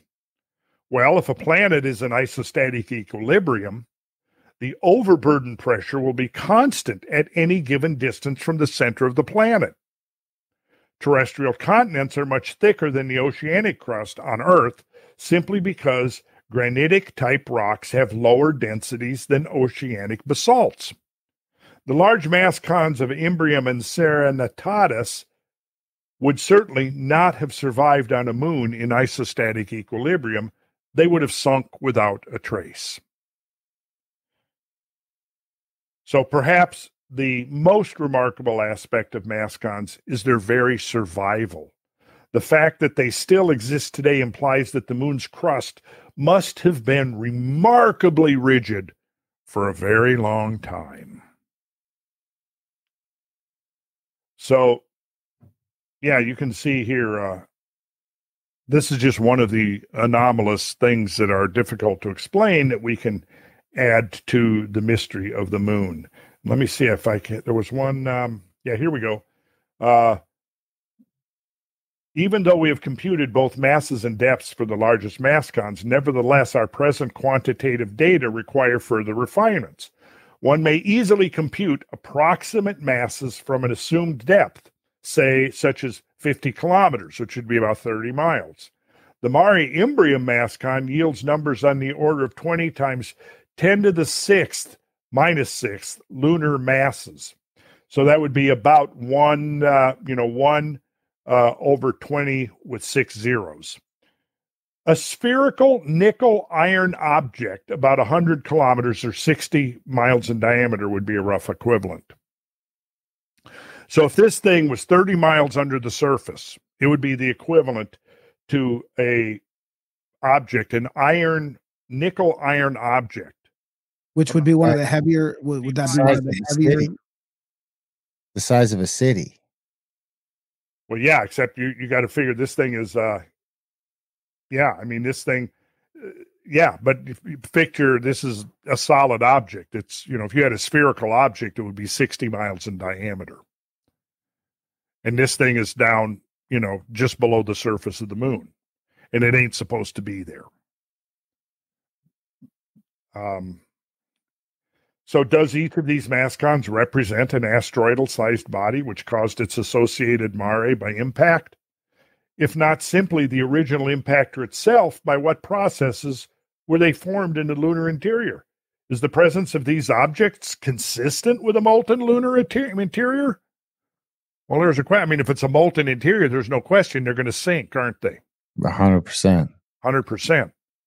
And the deeper they get to the center, the the less effect they're going to have. And then, you know, once they've gotten to the center, they would have no effect at all. They would just any, you know, they're going to oper- they're going to affect any lunar orbital module just as a point source that's that's associated with the center of the moon's uh the center of the moon center of the moon's mass so yeah it's uh yeah so a study of local accelerations on the spacecraft resulted in a gravipotential map of the lunar near side which has revealed very large mass concentrations beneath the center of all five near side maria. Um the largest rate of change in the accelerations over these mass cons reveals their relatively small physical extent 50 to 200 kilometers so um, yeah whatever they are they're relatively small not over so this would be 50 this would be 30 miles to um, 120 miles in diameter if you want to talk about it in miles. So what the hell are they? What are these gigantic or i say gigantic i mean relative to a person standing next to it um, what are these gigantic huge masses of something that would be the equivalent of a nickel iron sphere you know 60 there- miles in diameter? Is there a chance they're they're pulling the Maria in because could, could they be pulling the surface down because of their density? uh well no they're not. Because the this in fact the the uh surface of the maria are con convex upward so they're domed upward. So like you could be st- you know the maria are ringed by mountains but if you're standing at the center of some of the larger maria you don't even see the mountains because they're below the horizon because of the the convexity of the of the crater floor. Is there any uh, evidence of tunnels or catacombs leading down into the those dense areas? well that's an interesting question to ask I Um, mean, I mean, we all know what the elephant in the room is like underground moon bases, but you know, where do you I come don't up want to be the one to have to say it. But i'm going to stop sharing for a second if i can get out of oh let's There we go. you got to stop me sharing don't you yeah, I did. Yeah. There okay so uh let's see now there should be for whatever reason i'm not being able to navigate from my presentation screen to my editing screen uh which is a little annoying yeah because i haven't quite got this uh The three, This the is three screens time- This is, by the way, is the first time I've used StreamYard in a uh, in a podcast like this.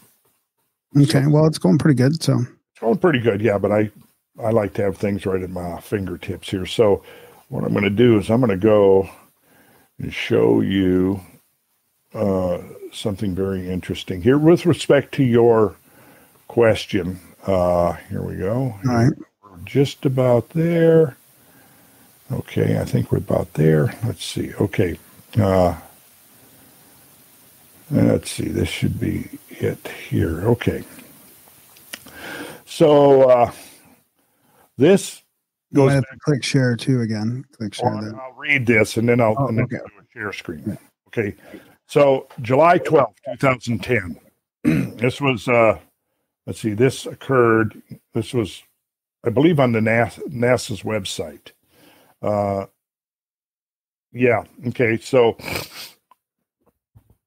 a whole new world came to life for Alice when she followed the white rabbit down the hole.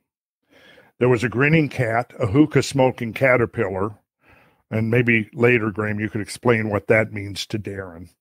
A Mad Hatter, and much more. It makes you wonder what's waiting down the rabbit hole on the moon. And then this quoting from NASA's website NASA's Lunar Reconnaissance Orbiter, or LRO, is beaming back images of caverns hundreds of feet deep, beckoning scientists to follow. They say hundreds, but they don't actually know how deep they are. And then Mark Robinson of the Arizona State University, who is the principal investigator for the LRO camera, said this They could be entrances to a geologic wonderland. We believe the giant holes are skylights that formed when the ceilings of underground lava tubes collapsed. Japan's Kaigu- Kaguya spacecraft first photographed the enormous caverns last year. Now, the powerful Lunar Reconnaissance Orbiter camera, the same camera that photographed Apollo landers and astronauts' tracks in the moon dust, is giving us enticing high resolution images of the cavern's entrances and their surroundings. So, I am going to do a screen share now. Uh, share screen select window or screen, screen two. There we go.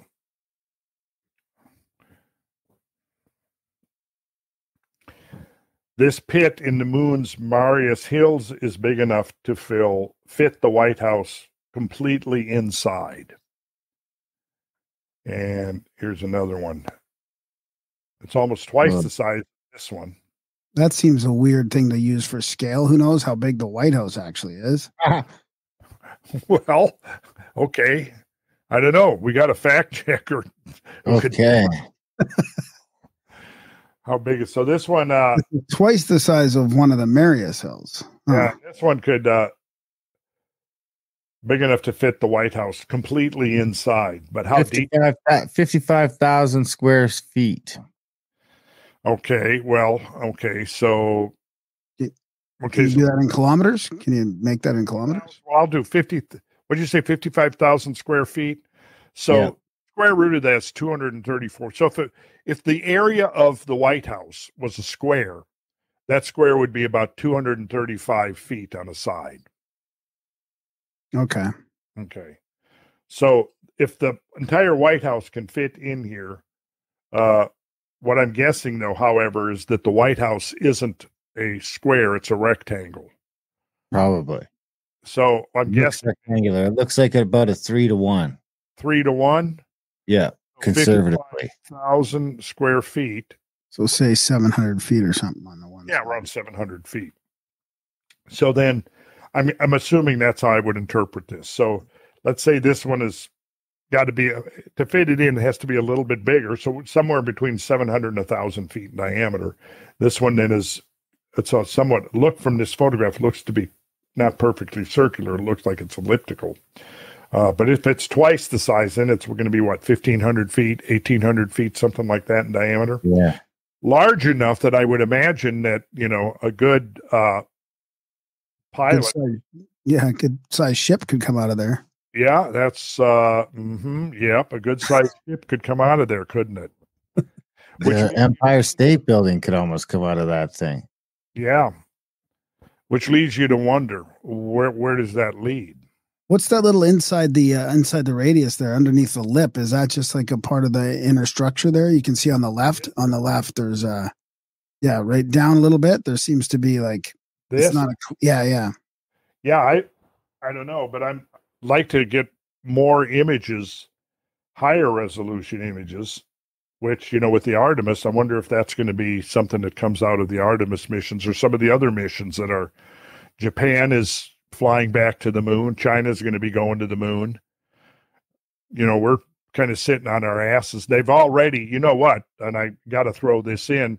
They're already scaling back the Artemis missions that were planned three stage to you know we did the first stage um second stage was to actually send the first stage was just send the orbiter around on without astronauts. The second stage would be send the orbiter around the moon with astronauts, and the third stage would be send the, the orbiter, and then there would be a lander that goes down and, and, and ferries astronauts to the surface, which they would the timetable was roughly one a year. So basically, probably by the end of next year or 2026 at the earliest, we would the U.S. would now have a, a return to the moon, a man landing on the moon. However, uh, NASA's budget's being cut way back in order to be able to send 60 billion over to Ukraine. Literally, Makes that's sense. that's where what's happening. There's money is being taken from all these other places. You know, we can't afford to, you know, complete that program now because we have to send another 60 billion down the rat hole of the Ukraine war and the rest of it that it's probably going also to to continue with Climate change and military. industrial. all of the bullshit. Yeah, all of the bullshit that there's completely wasting. Well, yeah, I mean, look at the uh, the the the Inflation Reduction Act has billions and billions of dollars to address a non-existent climate crisis. Told, you know, I I'm sure that you know the best case scenario is in the aftermath of that orgy of pointless spending, we we are able to, uh, ex, you know, uh, salvage some some use or value out of it, but for the most part, it's just money down a gigantic toilet, is what it is. But as long as they have the power to, you know, print money willy nilly and tax all of us people that are making an honest, you know, working honestly to make a living, they're going to be able to continue to throw money down into the cesspool, and not to go to the moon. not to go to the moon. But so this is very interesting stuff. So let me then, uh, we'll stop share again, and I'm going to go back so we can get to, uh, go back to the question of eclipses. We kind of di- digr- we digressed there, but I hope it was an interesting digression. Oh yeah, It was. Okay, good. Yeah, so I'm flying back to my ancient observatories here. I got to tell you, man, I got some interesting stuff in this program here that uh, I've decided that we've got to have more. People have been bugging me for years, and I've been a little bit wary about releasing this uh, prematurely.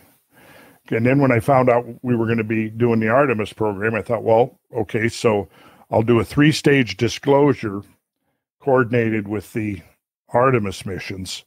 And then now with the with the question as to whether the Artemis missions will proceed as planned, you know, I don't know. i Tell you what, though, we got to get that Biden administration out of there down here, and you guys need to get Trudeau out from up there. That's right. It seems to be trending in that direction. I hope so. I hope so. Okay.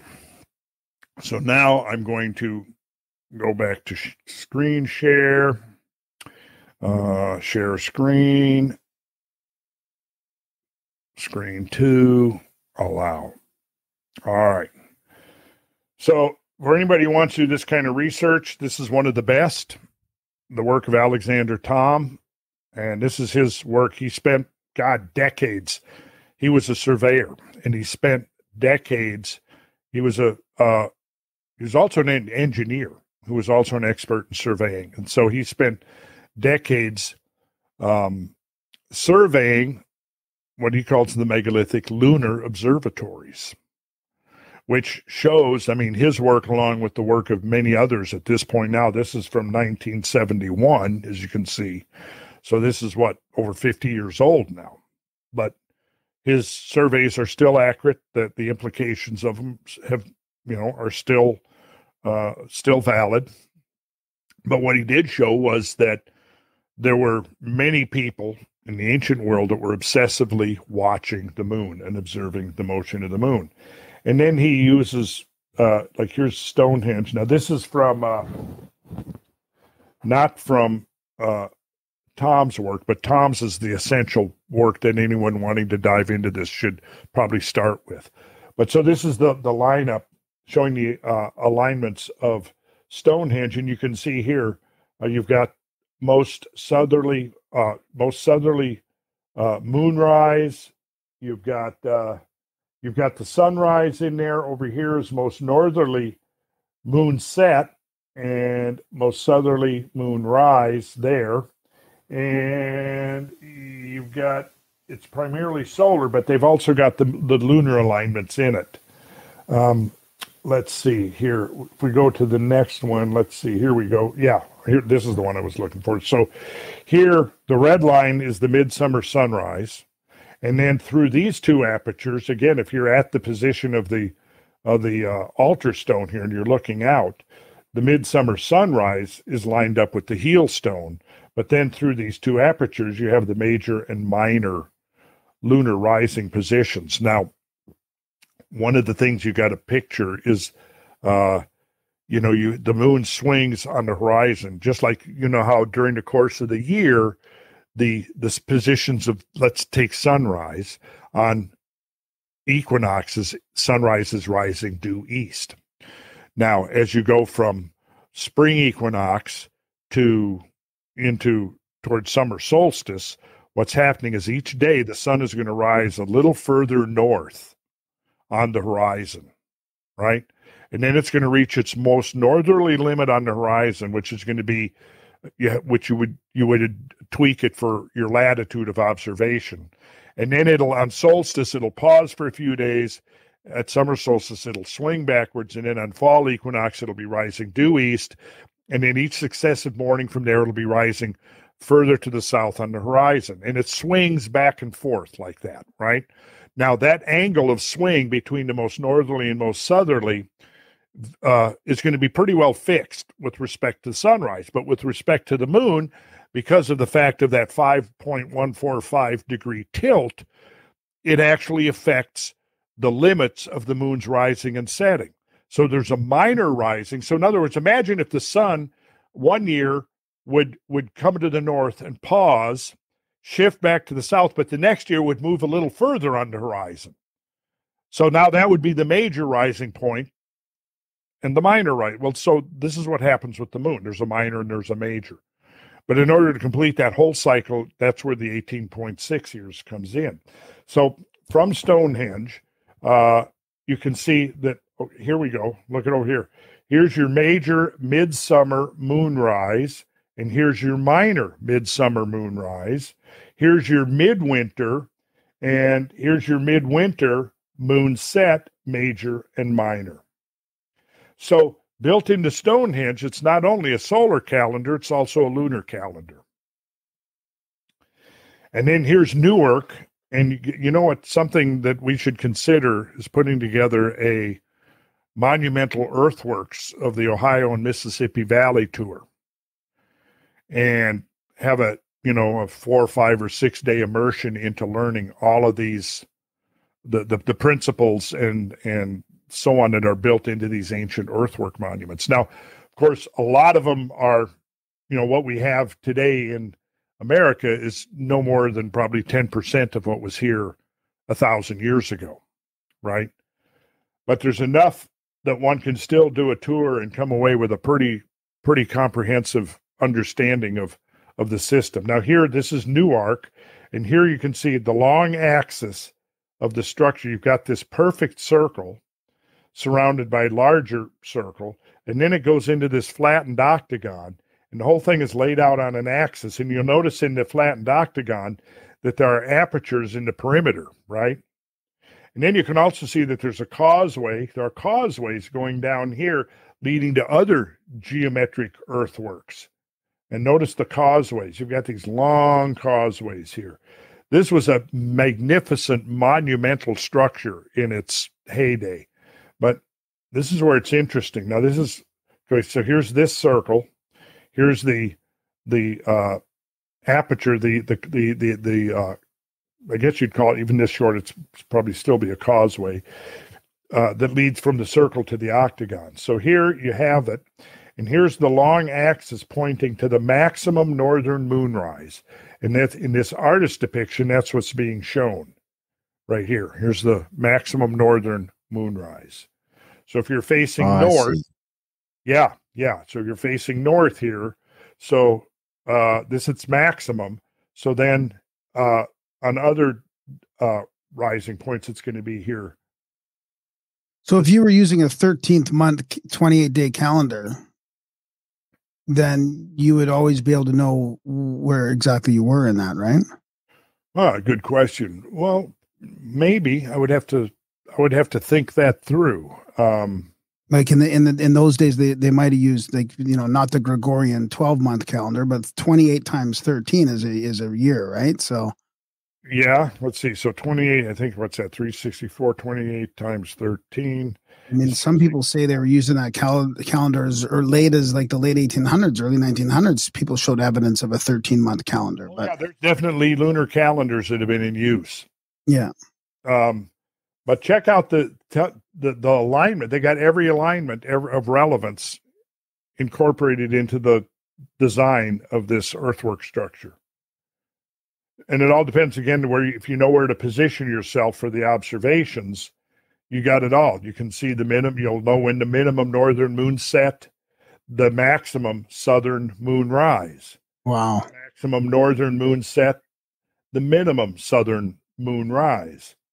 Uh, minimum northern moon rise, check out this angle here, is determined by the side of this flattened octagon. And then maximum northern moon rise. So, what's going to happen is if you're watching the moon rise throughout the course of a month and then the course of a year, and then through the full cycle that's when you're going to see this these positions on the horizon are changing that's fascinating. How fascinating. come they're uh, how come they're so curious about that? about the moon Would this, yeah, would this have been for a calendar? Would this be for calendar purposes or? yeah this is uh, i mean i'm not going to say that that was its ultimate purpose but it certainly served as a lunar calendar if you just knew where to go and and the proper position vantage point yeah you could track with a high degree of accuracy the motion of the moon through the full cycle and over 18.6 years though right so that's over the 18.6 year cycle Yes. And then here's, if you look at the Pueblo Pueblo Bonito, the alignment of the wall here is midpoint of the lunar cycle. fascinating. Did we go there? Did we go to that Pueblo Bonito? I think so. Eh? On one of our tours, Yeah. Well, it's in it's in New Mexico. Oh, maybe not. we- I don't know. I thought that might have been near Chaco, Can the one that we went uh, to the uh, Chimney the one that you're about to show next, actually. Yeah, Chaco. I mean Chimney Rock. Chimney Rock. Yeah, This is, now, this is in Chaco Canyon. right. We didn't go there. No. Yeah, we went to Mesa Verde. Mesa. We did go to Mesa Verde, yes, from which is in Colorado. Or we Yeah, that's it? right. Yeah, yeah. No, we were Colorado. Yeah. All right. So here's Chimney Rock. Here is the Kiva. And you can't see it now because it's not there, but there was an observatory tower that they had built right here. And when you were in that observatory tower, we determined that this is looking east, right? Yep. Mhm. So what we're seeing here is the sun setting in the west, casting the shadow here to the east. Now, interestingly, you know, as the sun migrates along the western horizon throughout the course of the year, this shadow will be migrating back and forth. Now, let's go and look at it from the vantage point of the ridge here. And here you can see the major standstill of the moon's path, the summer solstice sun, and the minor standstill of the moon path. So, what's happening in 2024 is the major standstill of the moon's path. So, Right from the van- the right through, yeah. So, basically, you're here at full moon. You will see the full moon rising between the two pillars. Wow. This year. Yeah. When? When? I can get the dates. Oh, it, it, yeah, it's okay. Just it just once, right? At the the one one time. it, it you know it, for a full year it's it's in this it's rising in this region Oh, I see. Okay, okay. Yeah. So you're going to have multiple you're going to have probably six months where just by positioning yourself a little different from your vantage point you're going to see the moon rising pretty much right there between the two pillars That's right, because it's like nine point three years down to that minor, right? that would be about right yeah Interesting. yeah so so that is chimney rock so getting back to our diagram um the point is is that i think we probably should pull that up again so i'll stop sharing and i wish i had better navigation here i'll figure out if we do this again i'll have it figured out how to uh, navigate a slideshow in streamyard uh, but i can get us there in a second Okay, that is slide number 57. Okay, not bad. Okay, so let's just go. Uh, there we go. All right, so again, Share. oh, Yeah, share. Present. Yep, Yeah. yep, yep.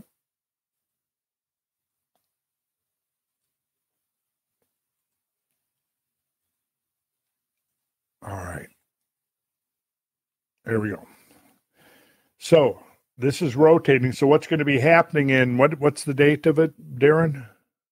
The eclipse, The eclipse is April eighth, twenty twenty four. April eighth. Okay, so on April eighth, what's happening is the moon is going to be right on this spot right here, right at the intersection, because it, it's a total solar eclipse. So it's got to be right, almost dead on this position at the time of full moon. I'm sorry, back up. I said it again. At the time of new moon. New So- moon. in other words this this node has lined up with the sun so if you were to draw a line a straight line would intersect the earth the moon and the sun on april 4th is that what you said april 4th April eighth. april 8th yeah so on april 8th you can draw if you imagine this red line extends shift the moon around put the moon right here and then continue the line on out, and that line would then intersect the sun. So basically, you've got the lineup of the uh, the Earth, the Moon, and the Sun, and it's right on the node. And then next month, uh, the full moon will not be aligned with the node, so it'll have to go make its trip around and then align with the node on this side. But again, it also has to be full moon you know the moon the moon every month crosses the node but you don't have the alignment with the sun Mm-hmm. Uh, and that's like every 300 and some 375 years the eclipses repeat or close to. oh gosh oh mm, i don't remember the number off the top of my head but that sounds about right The ancients, it seems like most of the ancient cultures thought the eclipse was some kind of omen or some kind of uh, portent of of change. You know, um, is there is there? Do you think there's any anything to that at all, or was that was that just a superstitious thing for them when they see the? You know i think there could be something to that. I sure could um, because look to me when you start studying from the, this vantage point of you know the, the sacred cosmology it seems like everything it's all part of a fine-tuned machine. And everything is intrinsic to the operation of that machine. Now as far as what happens during eclipses one thing that comes to my mind is this you're putting like under a total solar eclipse you're putting large regions of the earth's surface under shadow. All of a sudden the uh the so incident solar radiation has been interrupted right? Now if that is over a major like what is the uh the area of the cone of the shadow when it hits the earth? When it- 180 kilometers, I think. How many 180 kilometers, I think. that would could be about right So, So I, yeah, I did clarify it's uh the total solar eclipses repeat every 360 to 410 years. okay, okay. And then the cycle would begin over. And then we're talking about this nodal point relative to the fixed stars is, is basically what's happening is every 360 to 400 and whatever years, this is lining up with the same stars again. The 100 to 123 miles is the width of the solar eclipse. Yeah, the where the uh, so now you've got Oh, at some point it'll be 108. well, yeah, probably so. Well,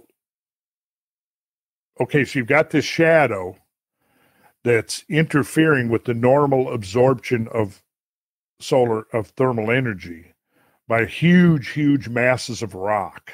Now, if there is, say, a fault line that is, you know, somewhere close to failure, could that rapid cooling and rapid warming again affect seismic activity, volcanic activity, tectonic activity? And I think the answer is that's very plausible. It could. So that might be one way um, that one might translate into actual, like there in, in terms of geophysics. Now, could it have other roles to play, like in biological life? You know, I, I haven't, I know there's studies that are out there that I haven't even accessed yet that probably are going in that direction. And that'd be a very interesting thing to, uh, a research area to undertake. Um, but yeah, I, I can't say I don't know for sure. Uh, but damn, now I want to go look that up. yeah, exactly. Yeah. Well, so many because so many of them. I mean, almost all the ancient country, uh, cultures thought it was an omen or a portent of disaster, and they would do ceremonies or rituals to cleanse negative uh, energies or sacrifices, even to appease to appease whatever gods. Yeah. I wonder if those, this is purely speculative. I wonder if those alignments, like between Earth, Moon, and Sun, could somehow affect the orbits of near Earth asteroids or, you know, I don't know. That I'm getting into some very rarefied speculative territory there, but you never know. I, again, there's so much interesting science and research and discovery going on. It's hard to keep up with it all. Yeah, yeah. Although it's off, it's very fun and interesting to do that. Well, we're supposed to maybe get a sneak peek at a comet or something this time. They were saying there's like a chance. I don't know how big the chance is, but that there could be a comet that becomes visible at the time of totality. Really? Huh. Let me fact check myself. Yeah, that's a probably a good good idea. Uh, Yeah, somebody mentioned in the chat there. That's kind of what I was thinking. There's a chance that Comet Pons Brook, which is prone to volcanic outbursts, could be seen during the total eclipse. Washington Post. wait, which comet? Uh, Comet Pons Brook. Pons Brooks. Pons Brooks. Okay. Huh. Yeah, catastrophic New England in the chat says, "What will all those high energy particles do to biological life when the magnetic field goes down for a bit? Mhm. Turbocharged evolution, you know that kind of stuff. I mean, that's the other thing. You're, Well, you're kind of who, who was who made that comment? That's an interesting point. I mean, yeah. Well, what effects is it having on the geomagnetic field? Yeah. I mean, it could. I mean, I would think it has to have effects, and and those effects have to be connected. I would think with why so many presumably independent peoples, even into Paleolithic times, were obsessively watching. I mean, why would you do that? Why would you know, if you're a hunter gatherer society, um, foraging or hunting or whatever, or even agricultural, why would you need to erect gigantic structures and monuments in order to track lunar motion with that degree of precision? I mean, there would be no apparent practical reason for undertaking such a thing. And if one culture did it, um, you know, you could say, well, whatever these guys were, this was idiosyncratic. The whatever these, this was a tribe of weirdos, so they did all this. But then you've got this happening all over the world. That's a great point. I mean, that might be the way to tr- why Darren, Darren asked that question before, whether it was solely calendar or not. But that might be the other thing is so they track, you know, the rituals and the ceremonies that they do when when the moon's in certain phases. Well, for one thing, the position of the moon, you know, uh, for example, full at new moon, right? Even even there's there's no eclipse during the the day of new moon. You can't see the moon, right? Because you have to go out there and you look directly into the sun, and then you know whatever three, four, five days later, you see that thin crescent, right? It's it's showing up in the sky, but there's a difference, an angular difference between the position of the moon and the position of the sun. Now, if you're trying to calculate the exact position of the sun, but how do you do that?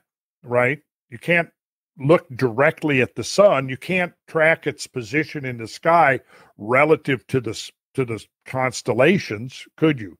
Because you can't. I mean, you couldn't look at this. I mean, now we can using instrumentation, but if you're using the naked eye, however, if you know that angular separation between the sun and the moon, you can extrapolate from that, may mark your position of the new moon rising and extrapolate from that. And now you're going to be able to get the position of the sun with a Oh wow. pretty high degree of accuracy. So it might be involved ultimately with solar observations and being able to calculate with precision where is the sun relative.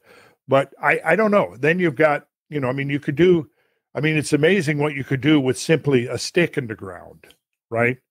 You put a stick in the ground, a vertical stick, and uh, I'll stop share for a minute. You put this vertical stick in the ground and you draw a circle around it. Well, you can, from there, you can then generate your four cardinal directions in one day, one reasonably sunny day, right? And then, of course, you could refine it with a higher degree of accuracy by making multiple observations over the course of, say, a year. Then you could get it really, really precise. But yeah, you could you could get a north, south, east, west quadrant laid out on the ground with a high degree of accuracy just by putting a pole in the ground and drawing a circle around it and tracking the motion of the shadows of the rising and setting sun on the pole. And and one of the things that I've done, and I never did record it, but I want to do this again and record it, is show how ancient peoples could have used a gnomon pole, set it up vertically, drawn the circle around it, and then determined your north, south, east, west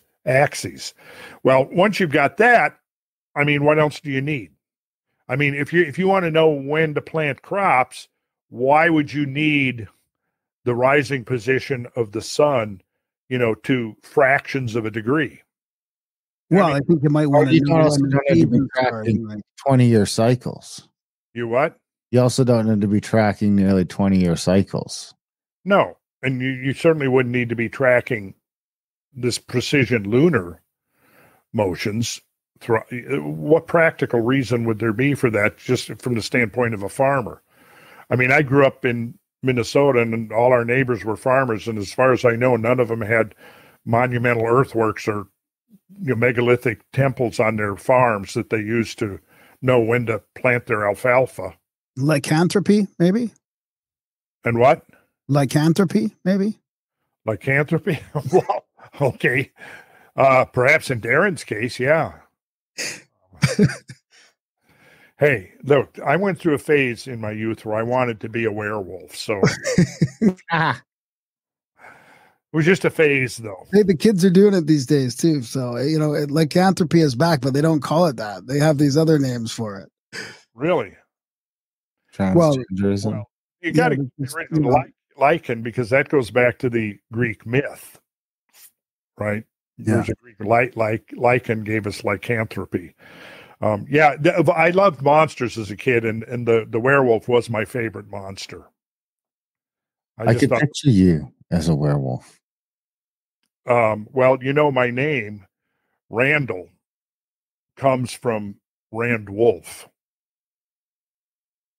Yeah, Rand but Wolf Tours. the solution Rand Wolf Tours. Yeah. Randall and Randolph, which came from Rand Wolf. Do you have any Rand Wolf tours coming up? I mean, that's probably a good segue into that. Uh let's see. Well, um, You got one with us May 13th to 18th. yeah, That's a what do we call that one? Yeah, that's the Scablands. Yeah, I know that. I know where we're going.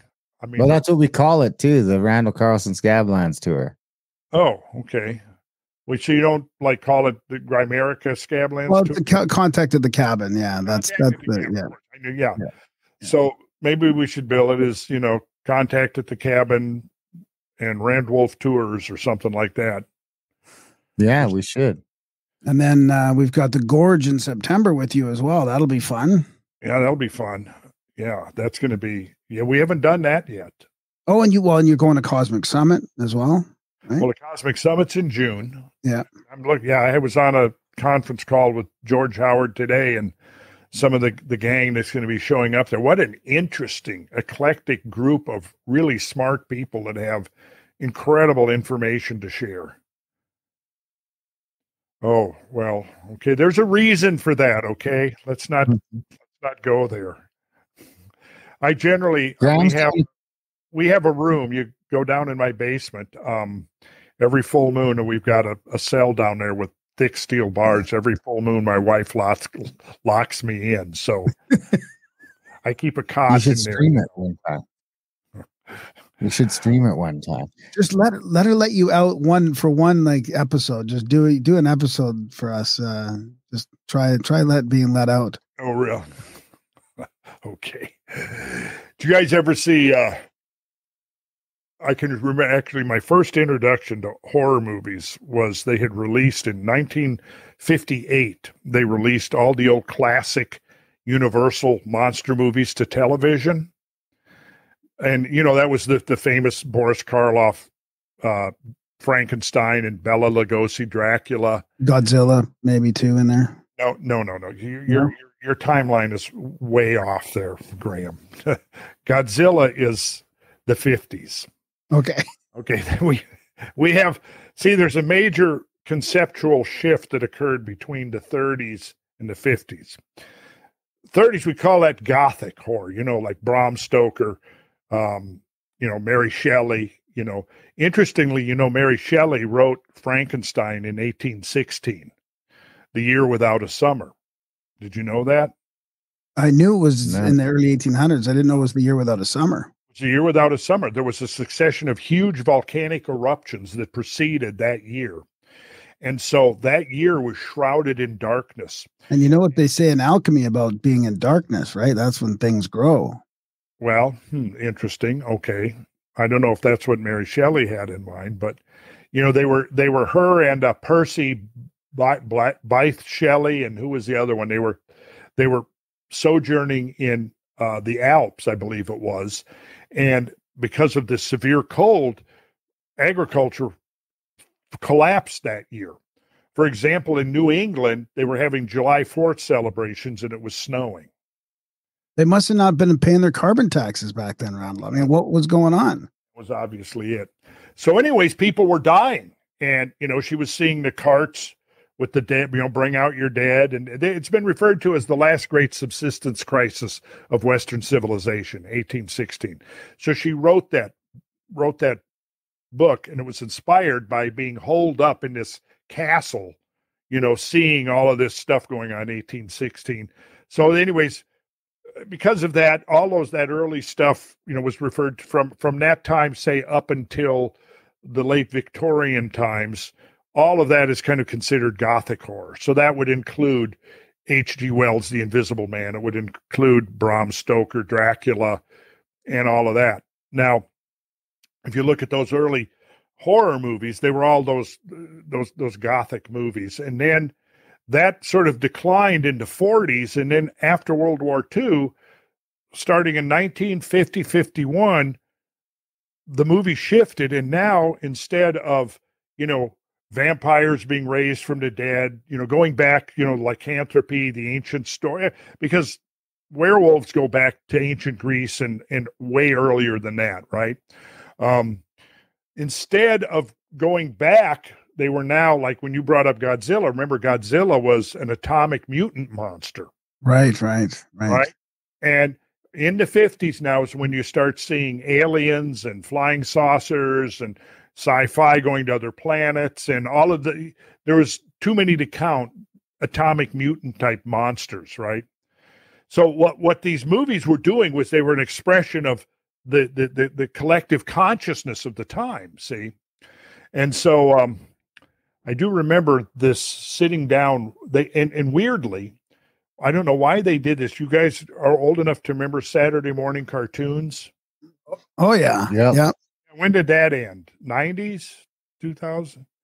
I mean, for my generation, it was a big deal. You got up Saturday morning, like at seven o'clock, and you watched cartoons until noon. Mine too. In like the in, in the eighties and early nineties, it was still a thing. Yeah, it was still. And I would thing. think it probably was right up until on demand took over. I think you're right. Yeah. Now, what what might have changed is when I was watching cartoons, you still that was before the days of political incorrectness. So a lot of those cartoons I was watching were pretty wild. If you don't believe me, pull up and watch an old Heckle and Jeckle cartoon. okay.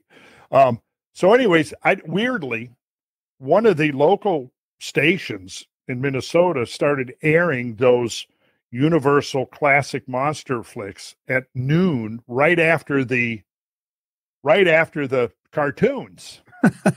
so I'd watch the cartoons, and then the next thing, all of a sudden, you know, it's uh, Frankenstein coming up or uh, Bela Lugosi Dracula, and from the from the first moment, I was addicted to horror movies. Six years Wow. old, seven years old, but but the first one I ever saw, the first horror movie I ever saw, was The Werewolf of London. Nice. You ever heard of that or seen that? Oh yeah, yeah, of course. Yeah. It's uh, because they remade it, I think, right? well, they made American maybe Werewolf now. Yeah. and that was inspired by Werewolf of London. But the tale was very interesting. It was he was the, the protagonist was a botanist, and he'd heard about this the rare moonflower. So he went to Tibet to get the Mariphasa or plant, I think it was called, which was it only bloomed under the full moon. But it turns out, you find out later in the film that it was also the only antidote for lycanthropy. But he's going there to this on this expedition, and they're going up the trails, up the mountains, and the closer they get to this place where the legend has it the Mariphasa, Mariphasa plant grows, the more su- superstitious the porters get until finally they freak out and they won't go any further. They run away, and he's there with his assistant, and they're climbing up, and then they start getting uh, all these weird magnetic field effects on them where they they can't walk, and then his assistant gets afflicted by this, and he can't walk anymore. So the the the hero of the story pushes on. It was the actor Henry Hull. He pushes on, and he finally gets up to this place, and there's this big boulder, and down in front of the boulder is the Mara. He sees the Mariphasa plant, and then as he's going up to it, he's going to get a he's going to get a specimen of that to take back to his laboratory in London. And as he goes up there, he's kneeling down. The full moon is rising over this rock, and the plant begins to you know open up. And then as he's sitting there kneeling down, you see the big rock, and then over the head of the over the top of the rock, you see the werewolf's head come up. and that was the moment. That moment was a, that was a pivotal moment in my life I like it. What a great story. because as soon as that ha- I, I was like addicted, and so that was it. That was it. That was my first. Did, did, did the werewolf kill him? Did he? Did he? Uh, Well, okay, so the the werewolf jumps down and they have a big fight, and I think if I remember right, the hero pulls out a knife and stabs the the, the werewolf, and it runs off. Except he's been bitten. Right. Nice, That's, that's nice. how lycanthropy is, you know, is passed on from one to another. You got to get bitten by it. Yeah, yeah. So he gets bitten by it, and uh, then goes back to London and doesn't know that he's a werewolf. However, it turns out that the werewolf that attacked him, the man, followed him back to London, right? Because he was apparently in there looking for the same thing, right? He was looking for the same plant, except now the full moon rose and he turned into the werewolf, right? So this guy follows. this cycle.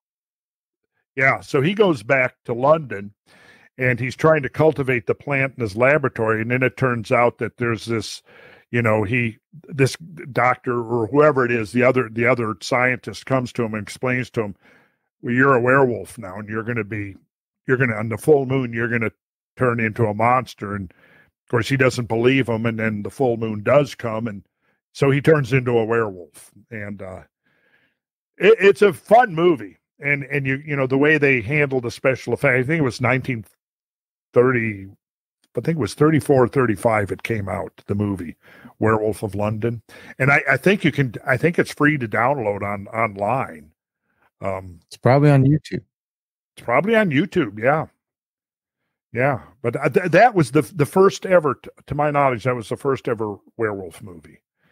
And then then they they they did a new version of it in the in the updated maybe the early 40s with Lon Chaney as the Wolf Man.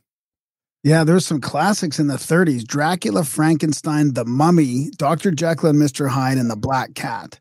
Yeah, yeah, and the Invisible Man. Yeah. Yeah, I saw all of so every Saturday would show those horror movies, and I was right there, made sure I was plunked in front of the TV. I wasn't going to miss any of them. Me too. Well, Randall, I think I think we've created another uh another entertaining and epic Grimerica and Randall Carlson podcast. Is there anything you think we didn't get to? Oh yeah, there was more that we didn't talk about than we did talk about. So, but that's the never-ending dilemma. I guess we'll have to keep doing these shows then.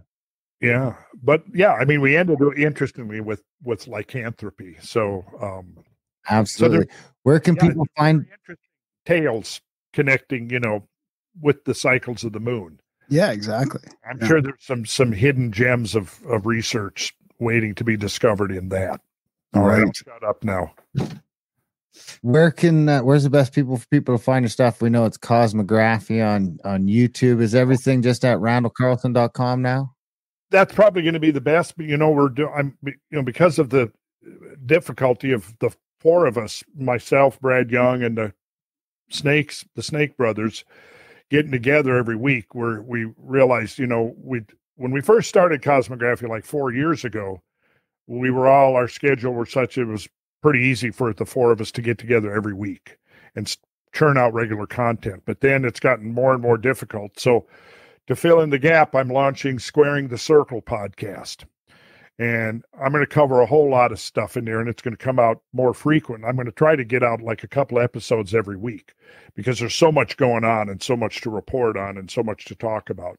So, Squaring the Circle, uh, I'm in fact, when we're done here tonight, I'm working up We've got about five episodes in the can right now, but I don't have a good introductory episode yet where I'm kind of laying out the game plan and here's here's what we're going to be doing, here's what we're going to be focusing on, what we're going to be talking about, investigating and stuff. So I'm working on that.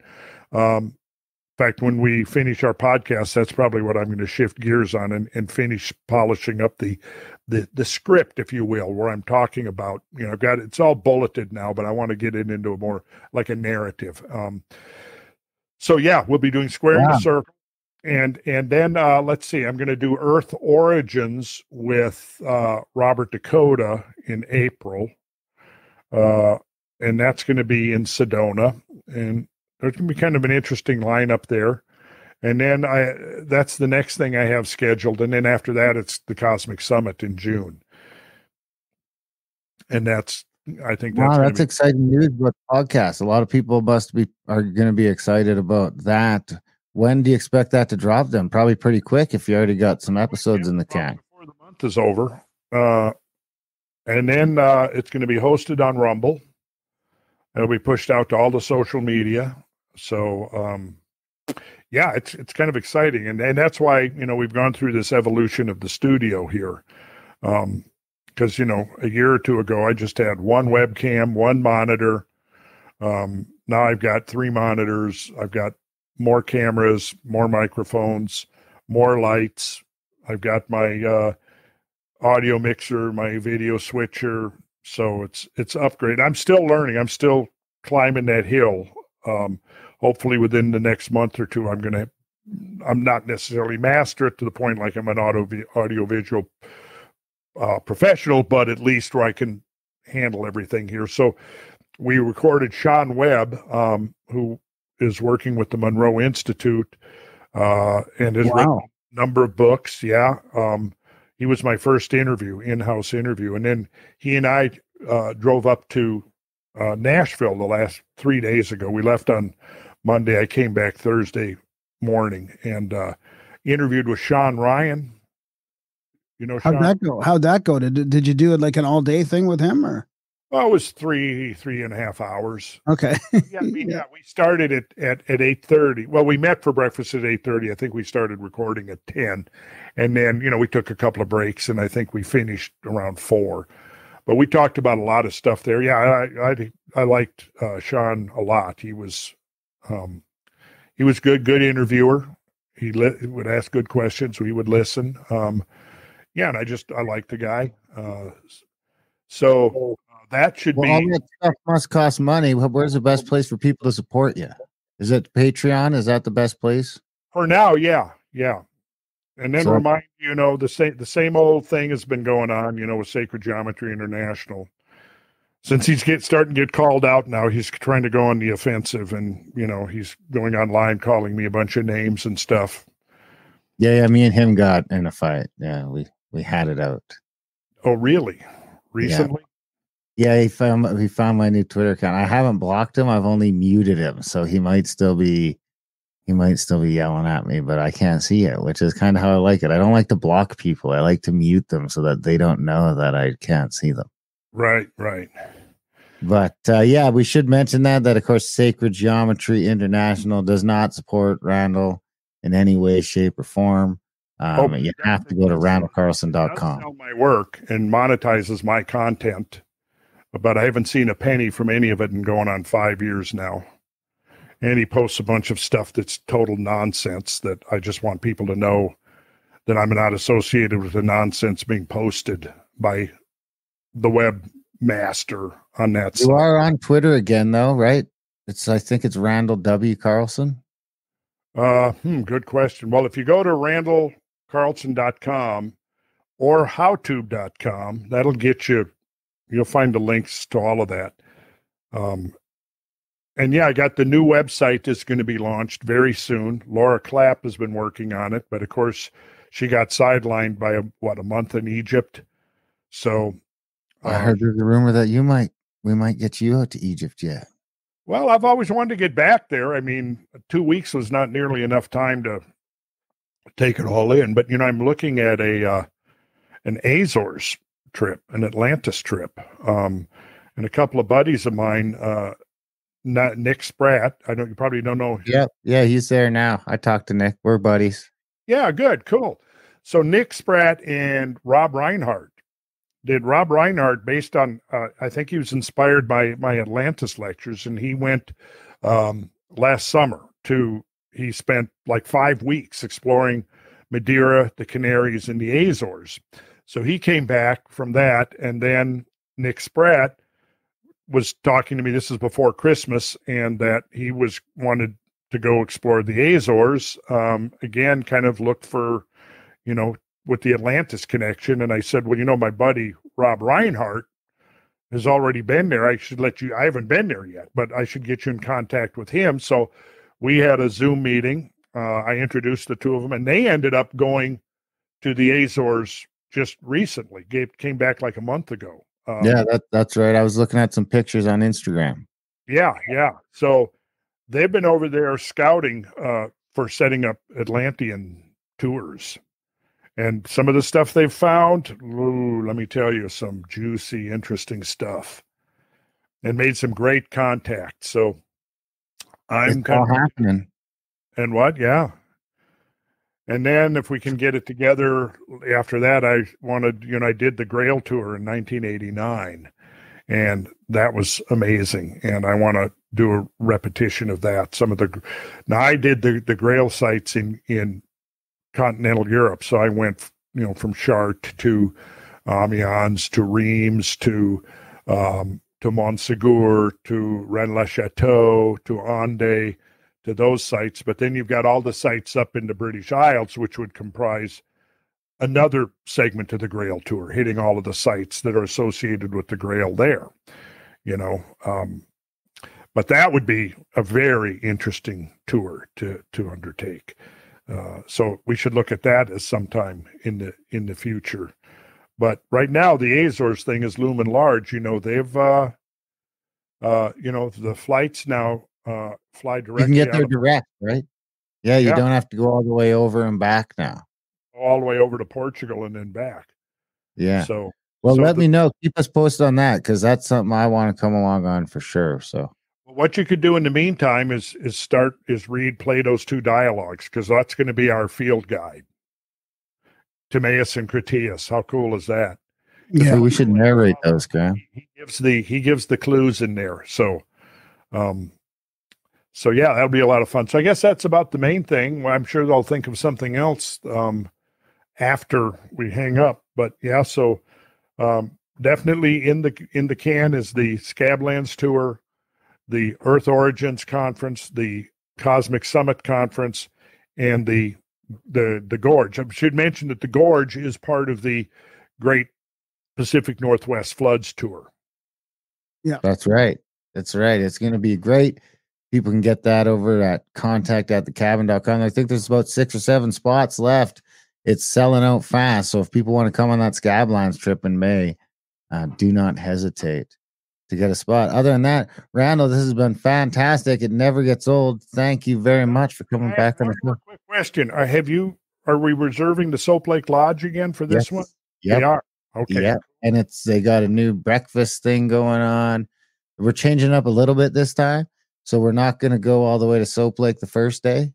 Okay. We're just going to go to the casino the first night, check in at the casino by the airport, head out, have dinner, and then head out to watch the sunset at uh, um, Steptoe Butte. Steptoe Butte. Head back to the casino, stay the night there, and then do the falls and everything as we make our way to Soap Lake. Got it. Oh, that's It cuts about four hours of driving out. Uh huh. Okay. So- And we'll have the we'll have the comfortable passenger vans with the view viewing windows and yeah All right. Lunches, picnic lunches. We'll have some jams in the night. We'll have some presentations. It'll be, they just keep getting better. So people want to check that out, contact at the cabin.com. Um, other than that, Randall, we'll let you get back to that intro so you can get this new podcast out because I'm sure people will be pretty stoked to hear. it. yeah, uh, I'm stoked to be doing it. All right, gentlemen. As always, it's buddy. been a pleasure and an honor and a lot of fun. Thanks, buddy. All right, Awesome. man. We'll see you in a couple weeks, a couple months, Got I guess. Yeah, exactly. Maybe in a couple of weeks. Maybe in a couple of weeks. Can't rule it out. Can't rule it out. All right. So I'm going to click the little red button. All right. Ciao. Bye. And that was a chat with Randall Carlson. What'd you think? Oh yeah, that was a classic Randall. But well, I mean, it was Did good. We got the moon? a little bit. Did you do your moon background to try and just instigate some moon teasers? No, did I? Did it seem like it? Well, it worked. We got so that's further into the moon than we've managed to get with them yet. And I Yeah. can tell you from experience off the record, it gets a lot deeper than that. I mean, people could check it out on their own. You know, the great book to start with is Who Built the Moon. I mean, Well, I mean, you know what's interesting is maybe now he'll do it now that he has his own podcast and he can do it on his own time a little bit without scheduling four other guys in there or three or four other people. That maybe now he because because because with with the the derailment of NASA's mission and all that because he was NASA. waiting for that. Now Yeah, now right, maybe he just maybe he should just do it like a a three part presentation. Just get it out on video for everybody. you know? Absolutely. Hey, if you liked our little podcast here, if you're getting some value from these podcasts we put out, these shows we put out for free, 600 and some episodes now, grimerica.ca slash support, guys. Uh, it's real important that you send us, you know, we're on YouTube. We can't make any money here. We're, we're banned. We can't get super chats anymore. Um, we're demonetized, but you can head over to head over to grimerica.ca slash support. You can sign up for a monthly. You can make a one-time donation that helps us keep coming out with these podcasts. Um, if you guys want some more free value, you can head over to adultbrain.ca where we've got 120 audiobooks. If you're a Spotify premium member in the US or the UK, you get those for free. You get all the audiobooks for free and we get paid. Uh, a bunch of them are on Audible. If you just type in Adult Brain Publishing, they'll all come up. But you can get them for free as well on YouTube uh, with some ads in them that supports us that way. And uh, there's a podcast where you can get them to at adultbrain.ca. Uh, the Grimerica Outlawed podcast, where we do controversial stuff, grimericaoutlawed.ca. Another great way to support us where you can sign up for a membership over there. Um, and that's all the sort of ways we can keep ourselves afloat here so that we can try and keep keep ourselves coming out with great content. Uh, spamgram, grammaticamerica.com. Anything else to get to before we wrap this up? I think that's it. I think that's it. All right. Spring is sprung in the Great White North. Well, did you mention the eclipse event, the big eclipse event? Oh, yeah, again? we have the big eclipse event that Randall might have just teased that he might show up at. So a couple weeks, we're having a big eclipse event on the path to we how do we not mention the eclipse event on the eclipse? uh contact at the cabin.com, hit that menu button at the top, go to uh, Eclipse the Canyon, where we'll be having a music festival for two days and two nights before the eclipse and uh partying. I think if you get the VIP, you get the two nights. The other one might be just one. Uh, check it all out. It's all on the website. But basically, you're to camp. We're to have a stage. We're to have some food trucks, and we're to all watch the eclipse together uh, with us, the Brothers of the Serpent, Ben from Uncharted X, a bunch of other great people. I mean, I can't mention them all because if I start them, if I mention more, I'll have to mention them all, and I can't. Uh, but I mean, sounds like someone just might hinted that I might see him in a few weeks, and that's the only place I'm going in the next few weeks. Other than that, we love you guys. Thanks for listening. And we will see you next week. Teach me all your secrets to get a good handle on a better way to live. How does one get out of bed every day in the throes of the apocalypse? Should I bury my head in the sand or sabotage their evil plan? I feel really trapped, an ant burned by a magnifying glass.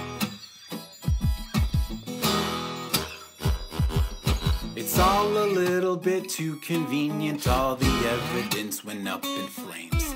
Phonies, fraudsters, scammers belong in the slammer. My friend, best give up their names.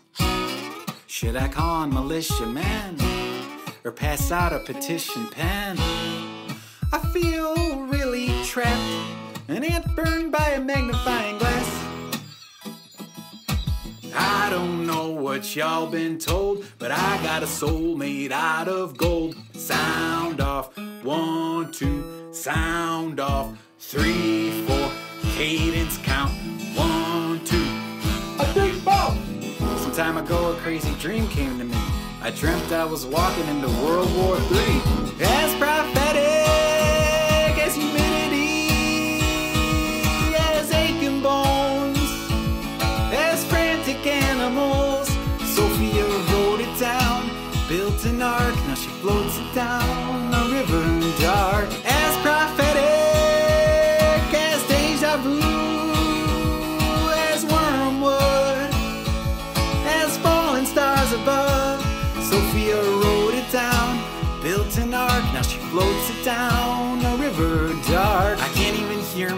thoughts for the life of me over the din of a bruised and broken culture. The media spins and splatters and spins and clatters, and I cringe because it's psychological warfare. Don't you feel yourself getting really mad? How did we let it get this bad? Don't you feel really trapped like a brain in a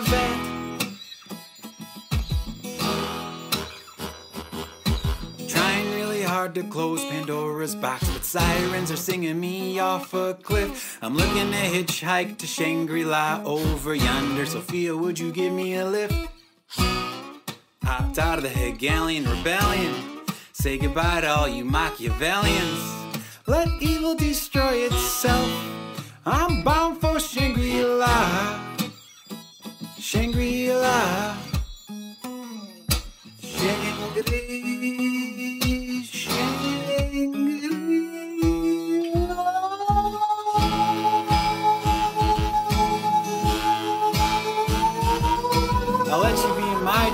I could be in yours. I'll let you be in my dream if I could be in yours. That's prophetic